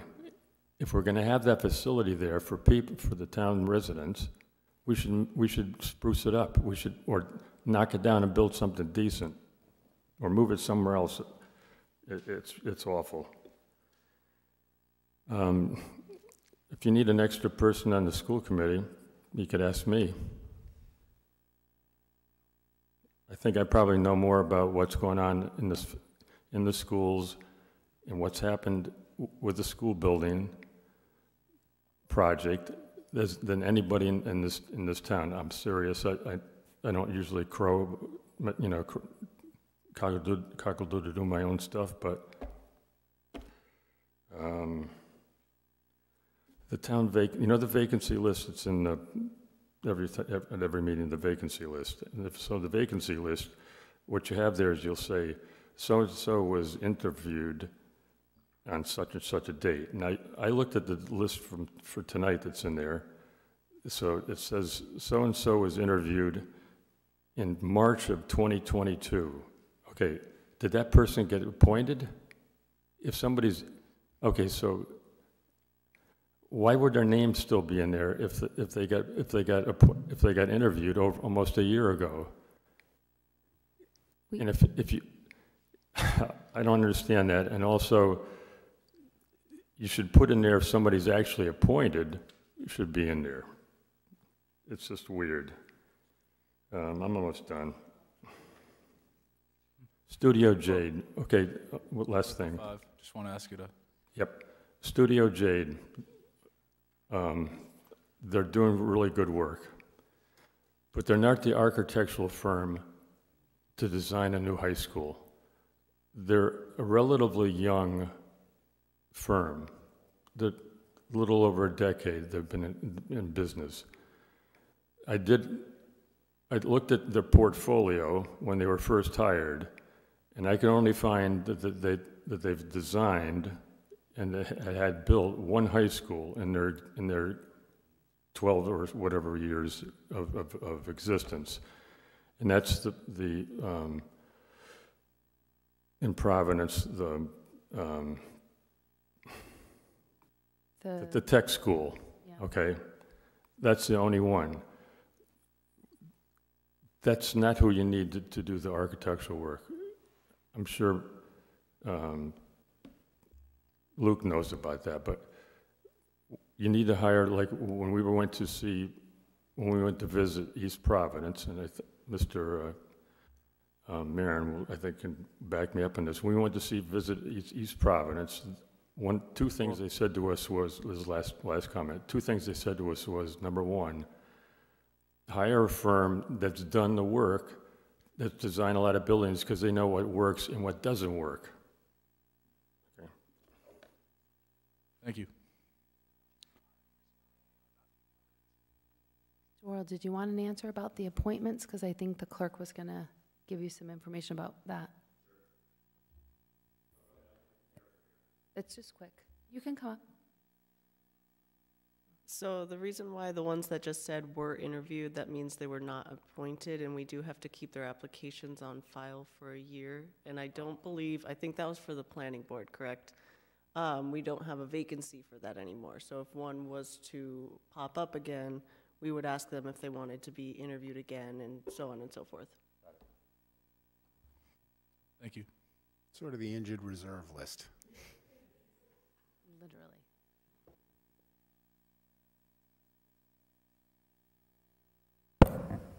Brad Harrington, 2 Lab Hill Drive, Wakefield. What I was going to speak about, it's a moot point now because the council voted on what they were going to do with these private roads. I have some uh, things I'd like to discuss and I'd like feedback because shut up and go away doesn't do well with me. Anyway, these private roads, um, I don't know why they're still doing it. I kind of do know why they're doing it. You see it in our, well, I know about Charles, Charlestown, you see a lot of it, where they have their associations and they're 64 pages long and it tells you how you have to maintain the road. You can't pave the road. You got to do the catch basins. You got to do this. You got to plow your road. All these different things. And the towns, it's, it's a win-win for the town because there's no, they're not giving any town services. It's all on the dimes of the residents. Well, as you said earlier, a lot of these private roads, there was no associations. They were just built.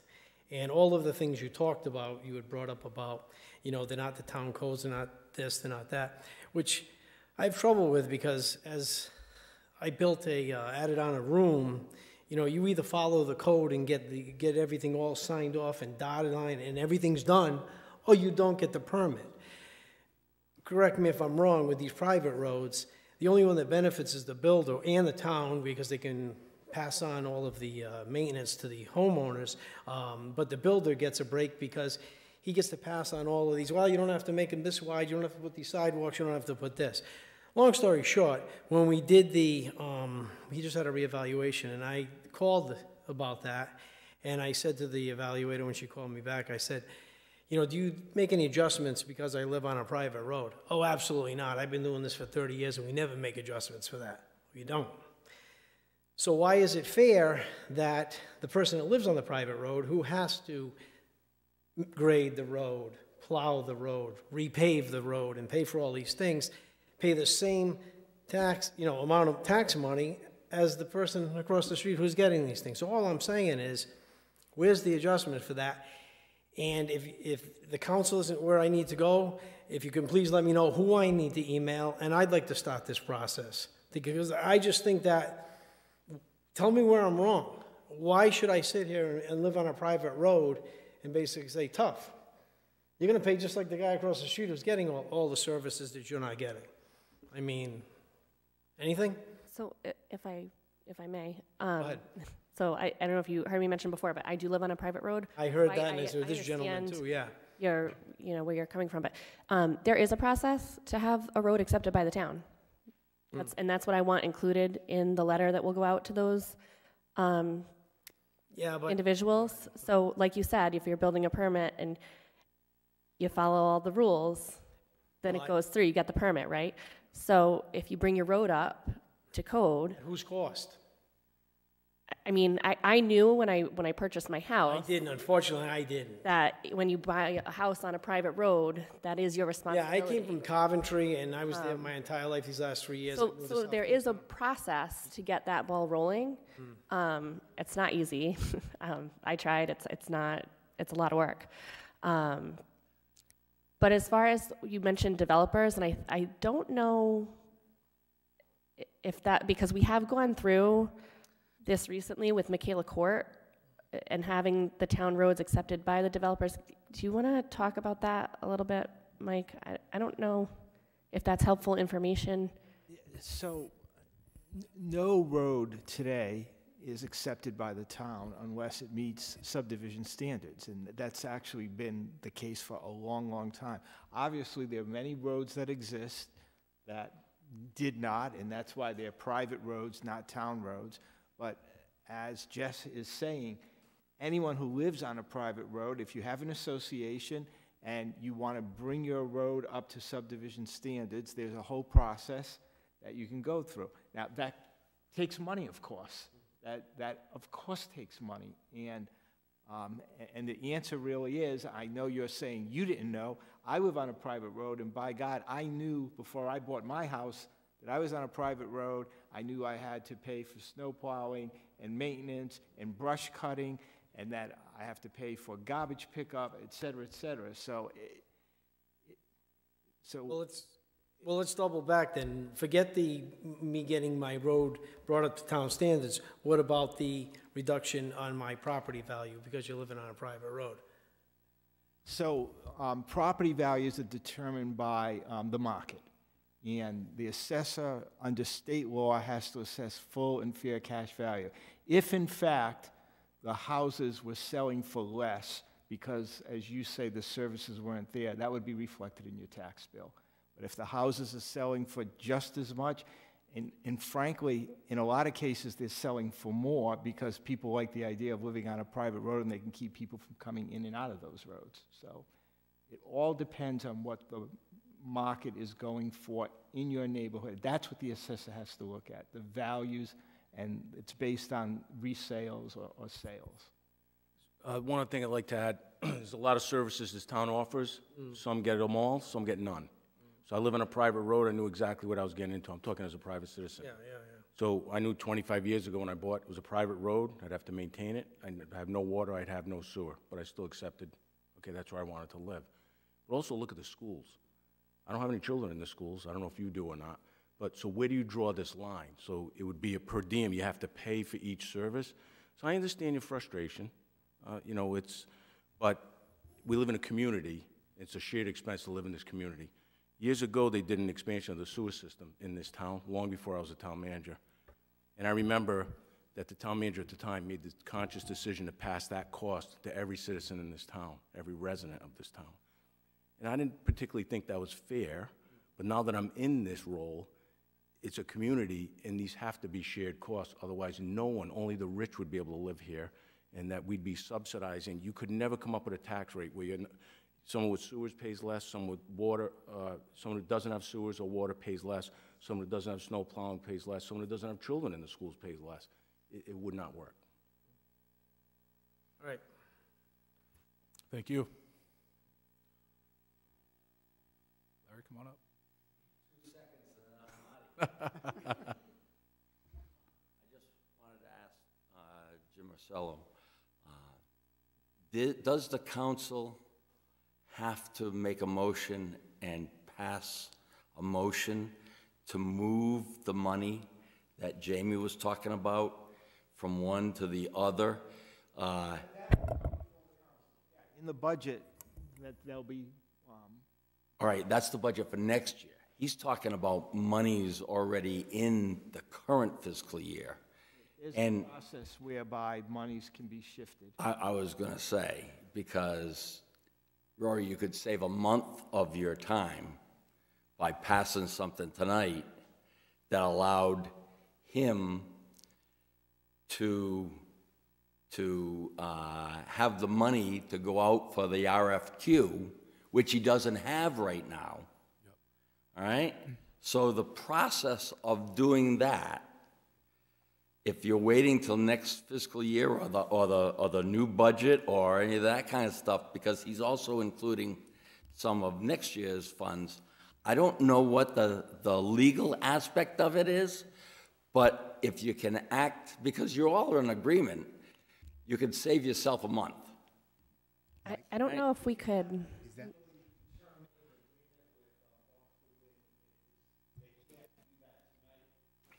No, I,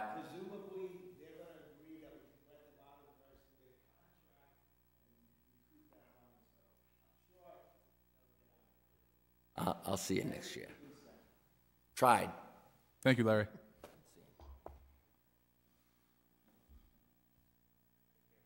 All right, anyone else wish to speak in the audience?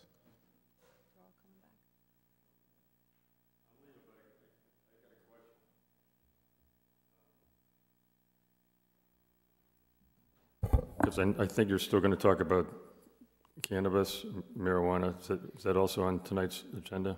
Just an order of notice. Just to issue a notice of a public hearing to have at the next meeting. So the substantive conversation will be at the next meeting. Okay. Because when I, when I did some research on cannabis growing, it's, it's, um, depending on how it's done, it- it can use, you know, a a significant amount of water. So uh, when you had the- the gentleman here from the brewery, and the issues about water usage and, and um, taxing those sewer stuff, you should just keep that in mind. Thank you, Doral. Thank you, Doral. All right, anyone else in the audience wish to come up and speak? All right, seeing none, we're going to move on. It's going to bring us to item 11, appointments. Make a motion to appoint Amy Crawford to the Affordable Housing Collaborative. Second. All right, we have a motion and a second. Any discussion? Anyone opposed? All right, the motion passes. It's going to bring us now to 12, new business. Item A is a resolution authorizing the town clerk to advertise for order of notice of public hearing relative to proposed text amendments to the zoning ordinance associated with the sale, cultivation, and/or manufacturing of recreational cannabis to include the creation of cannabis overlay districts within the town's existing commercial highway and industrial one districts, and to consider a proposed amendment to the town's zoning map to create the three new cannabis overlay districts as shown on Exhibit 2 attached here too. Motion to approve 12A. Second. We have a motion and a second. Any discussion? Anyone opposed? All right, the motion passes. It's going to bring us to item B, a resolution authorizing the town clerk to advertise for order of notice of public hearing relative to proposed amendments to the town code, chapter 17, taxation, that would add Article 8, waiver of interest for qualifying quarterly tax payments as shown in Exhibit 3 attached here too. Motion to approve 12B. Second. We have a motion and a second. Any discussion? Anyone opposed? All right, that motion passes. Item C is a resolution referring to the planning board proposed amendments to the zoning ordinance regarding election signs or political signs for review as further described in a memorandum from the town solicitor to the town council dated January 17, 2023. A Motion to approve 12C. Second. We have a motion and a second. Any discussion? Anyone opposed? All right, that motion passes. It's going to bring us to 12G, a resolution authorizing an award of bid to municipal leasing consultants of Grand Isle, Vermont for a tax-exempt master lease purchase program in accordance with all bid specifications for an amount, for an annual interest rate of 4.12% for a five-year tax-exempt master lease for the purchase of a new replacement ambulance in an amount not to exceed $350,969, including the purchase price of the ambulance at $340,969, an estimated closing cost of $10,000 is further described in a memorandum from the finance director to the town manager dated January 19, 2023. So I'll make a motion to approve 12G, but if, I- I- it's a big number, so for people who weren't listening to the work session, if you could just really quickly explain that. I'll second, and then. So 12G and H are related. One is, uh, G is for the lease, and H is to accept the, uh, award the bid for the uh, rescue vehicle. These emergency vehicles are in very short supply. There's a two-year wait on this. We need a rescue vehicle fairly soon, and uh, EMS vehicle, and they're very expensive. Um, But th- that's the price. There's no bargaining, there's nothing you can do. Rather than trying to budget in a CIP, we could never come up with that kind of money in that short period of time. So this is the first time we've done a big lease. This lease makes sense. We're spreading it out over five years, and we own it at the end, so we can keep it. It's, it, and it's equivalent to whether, if we were putting a CIP amount of money in there, or financing it, or whatever. So this lease does make sense. The staff has shown me that it does, including the finance director. And it's a great way to get that vehicle It in a timely fashion. There's one other point I want to make on this, though. We need two of these. And the staff came to me for two, because if we open a new EMS station, we, this one's going to replace one that we need now, EMS. So that's, you know, we're kind of, but that's a lot of money. That's $700,000 that we would, but we do need two. But this is an example of the staff doing more with less, talking to the chief, uh, Mr. Stanley, he, he, we're gonna, we're gonna keep these vehicles going as long as we can, as long as it's safe. But, um, you can see the needs of the town are there, uh, when it comes to emergency vehicles. I just have to bring that up to you. I think this is a great way to think outside the box on this and get what we need with what we've got. So what's scariest to me is you use the word lease, even though at the end of the five years we're owning it. So it's like a financing plan? It is. Okay. It's fine, so I'm just curious why you would use the word lease then? So it's a lease with a Because we buyout have to, option at the because end. it truly is a lease. We could turn it in if we want. Oh, at any But we don't. We don't want to. Okay. The, the, the, I have good, uh, people with the brains of the operations in the back of the room over there. Let's direct this, though. But no, it definitely makes sense. It was explained to me. We need it now. This is the only option we have right now, other than we just pay the whole thing right out or. Is there a plan for the second one? There is. Um, uh, you know, if you look at the vehicles that come across my desk, very few make it past me um, because we need to do more with less, especially now. But, um, but the next, the plan is a year from now, put in for the next one. And, or, or we're going to apply, f and I try, ask my staff, look for federal grants before you come to me for anything. There is a chance we could get some type of grant for a rescue vehicle, there's a chance. Um, And that's something we'll be working on. If we order it now and pay for it now, we don't have a chance. So within a year, I'm hoping we maybe could get a grant for the new EMS station for a vehicle, and if not, then we'll budget for it then. Sounds good. Thank you, Jim. All right, we do have a first and a second. Any further discussion? Anyone opposed? All right, the motion passes. That's going to bring us to item H, a resolution authorizing an award of bid to Bulldog Fire Apparatus Demers Ambulances of Westport, Massachusetts for one Type 1 2023 Ford F-450 4x4 ambulance per bid specifications in an amount not to exceed 340,969 as further described in a memorandum from the Chief of Emergency Medical Services to the Town Manager dated January 17, 2023. Motion to approve 12H. A motion and a second. Any discussion? Anyone opposed? All right, the motion passes. It's going to bring us to item I, a resolution authorizing an award of bid to United Site Services Northeast Incorporated of Westboro, Mass. for portable restroom services for the 2023 and 2024 seasons based on bid pricing received in accordance with all bid specifications and as further described in a memorandum from the Director of Leisure Services to the Town Manager dated January 18, 2023. Motion to approve 12I. Second. All right, we have a motion and a second. Any discussion? Go ahead. Is there a bottom line on that? I noticed that you've got it broken down by unit.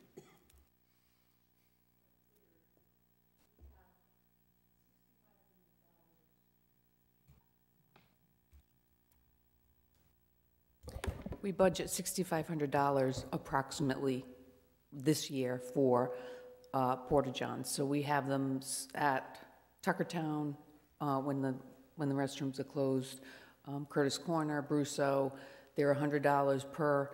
We don't have a bottom line because there are times when we don't put out uh, Porta-Johns. We use them for special events, um, things like that, rentals, parades. So um, we go by the per unit cost, which is uh, uh, proposed at $100, I believe. That was part of the reason I was asking, because I figured with the 300th, we, we're going of a to need them for those and, and as events come up. And we need them more and more in the wintertime when we don't have water on in the restrooms at some of the parks. So we are seeing um, the need for actually more in the winter. Thank you, Terry. Any further discussion? Anyone opposed? All right, that motion passes. That's Motion to adjourn. Second. Motion to adjourn, a second. Any discussion? Anyone opposed? All right, this meeting is adjourned. Thank you, everyone.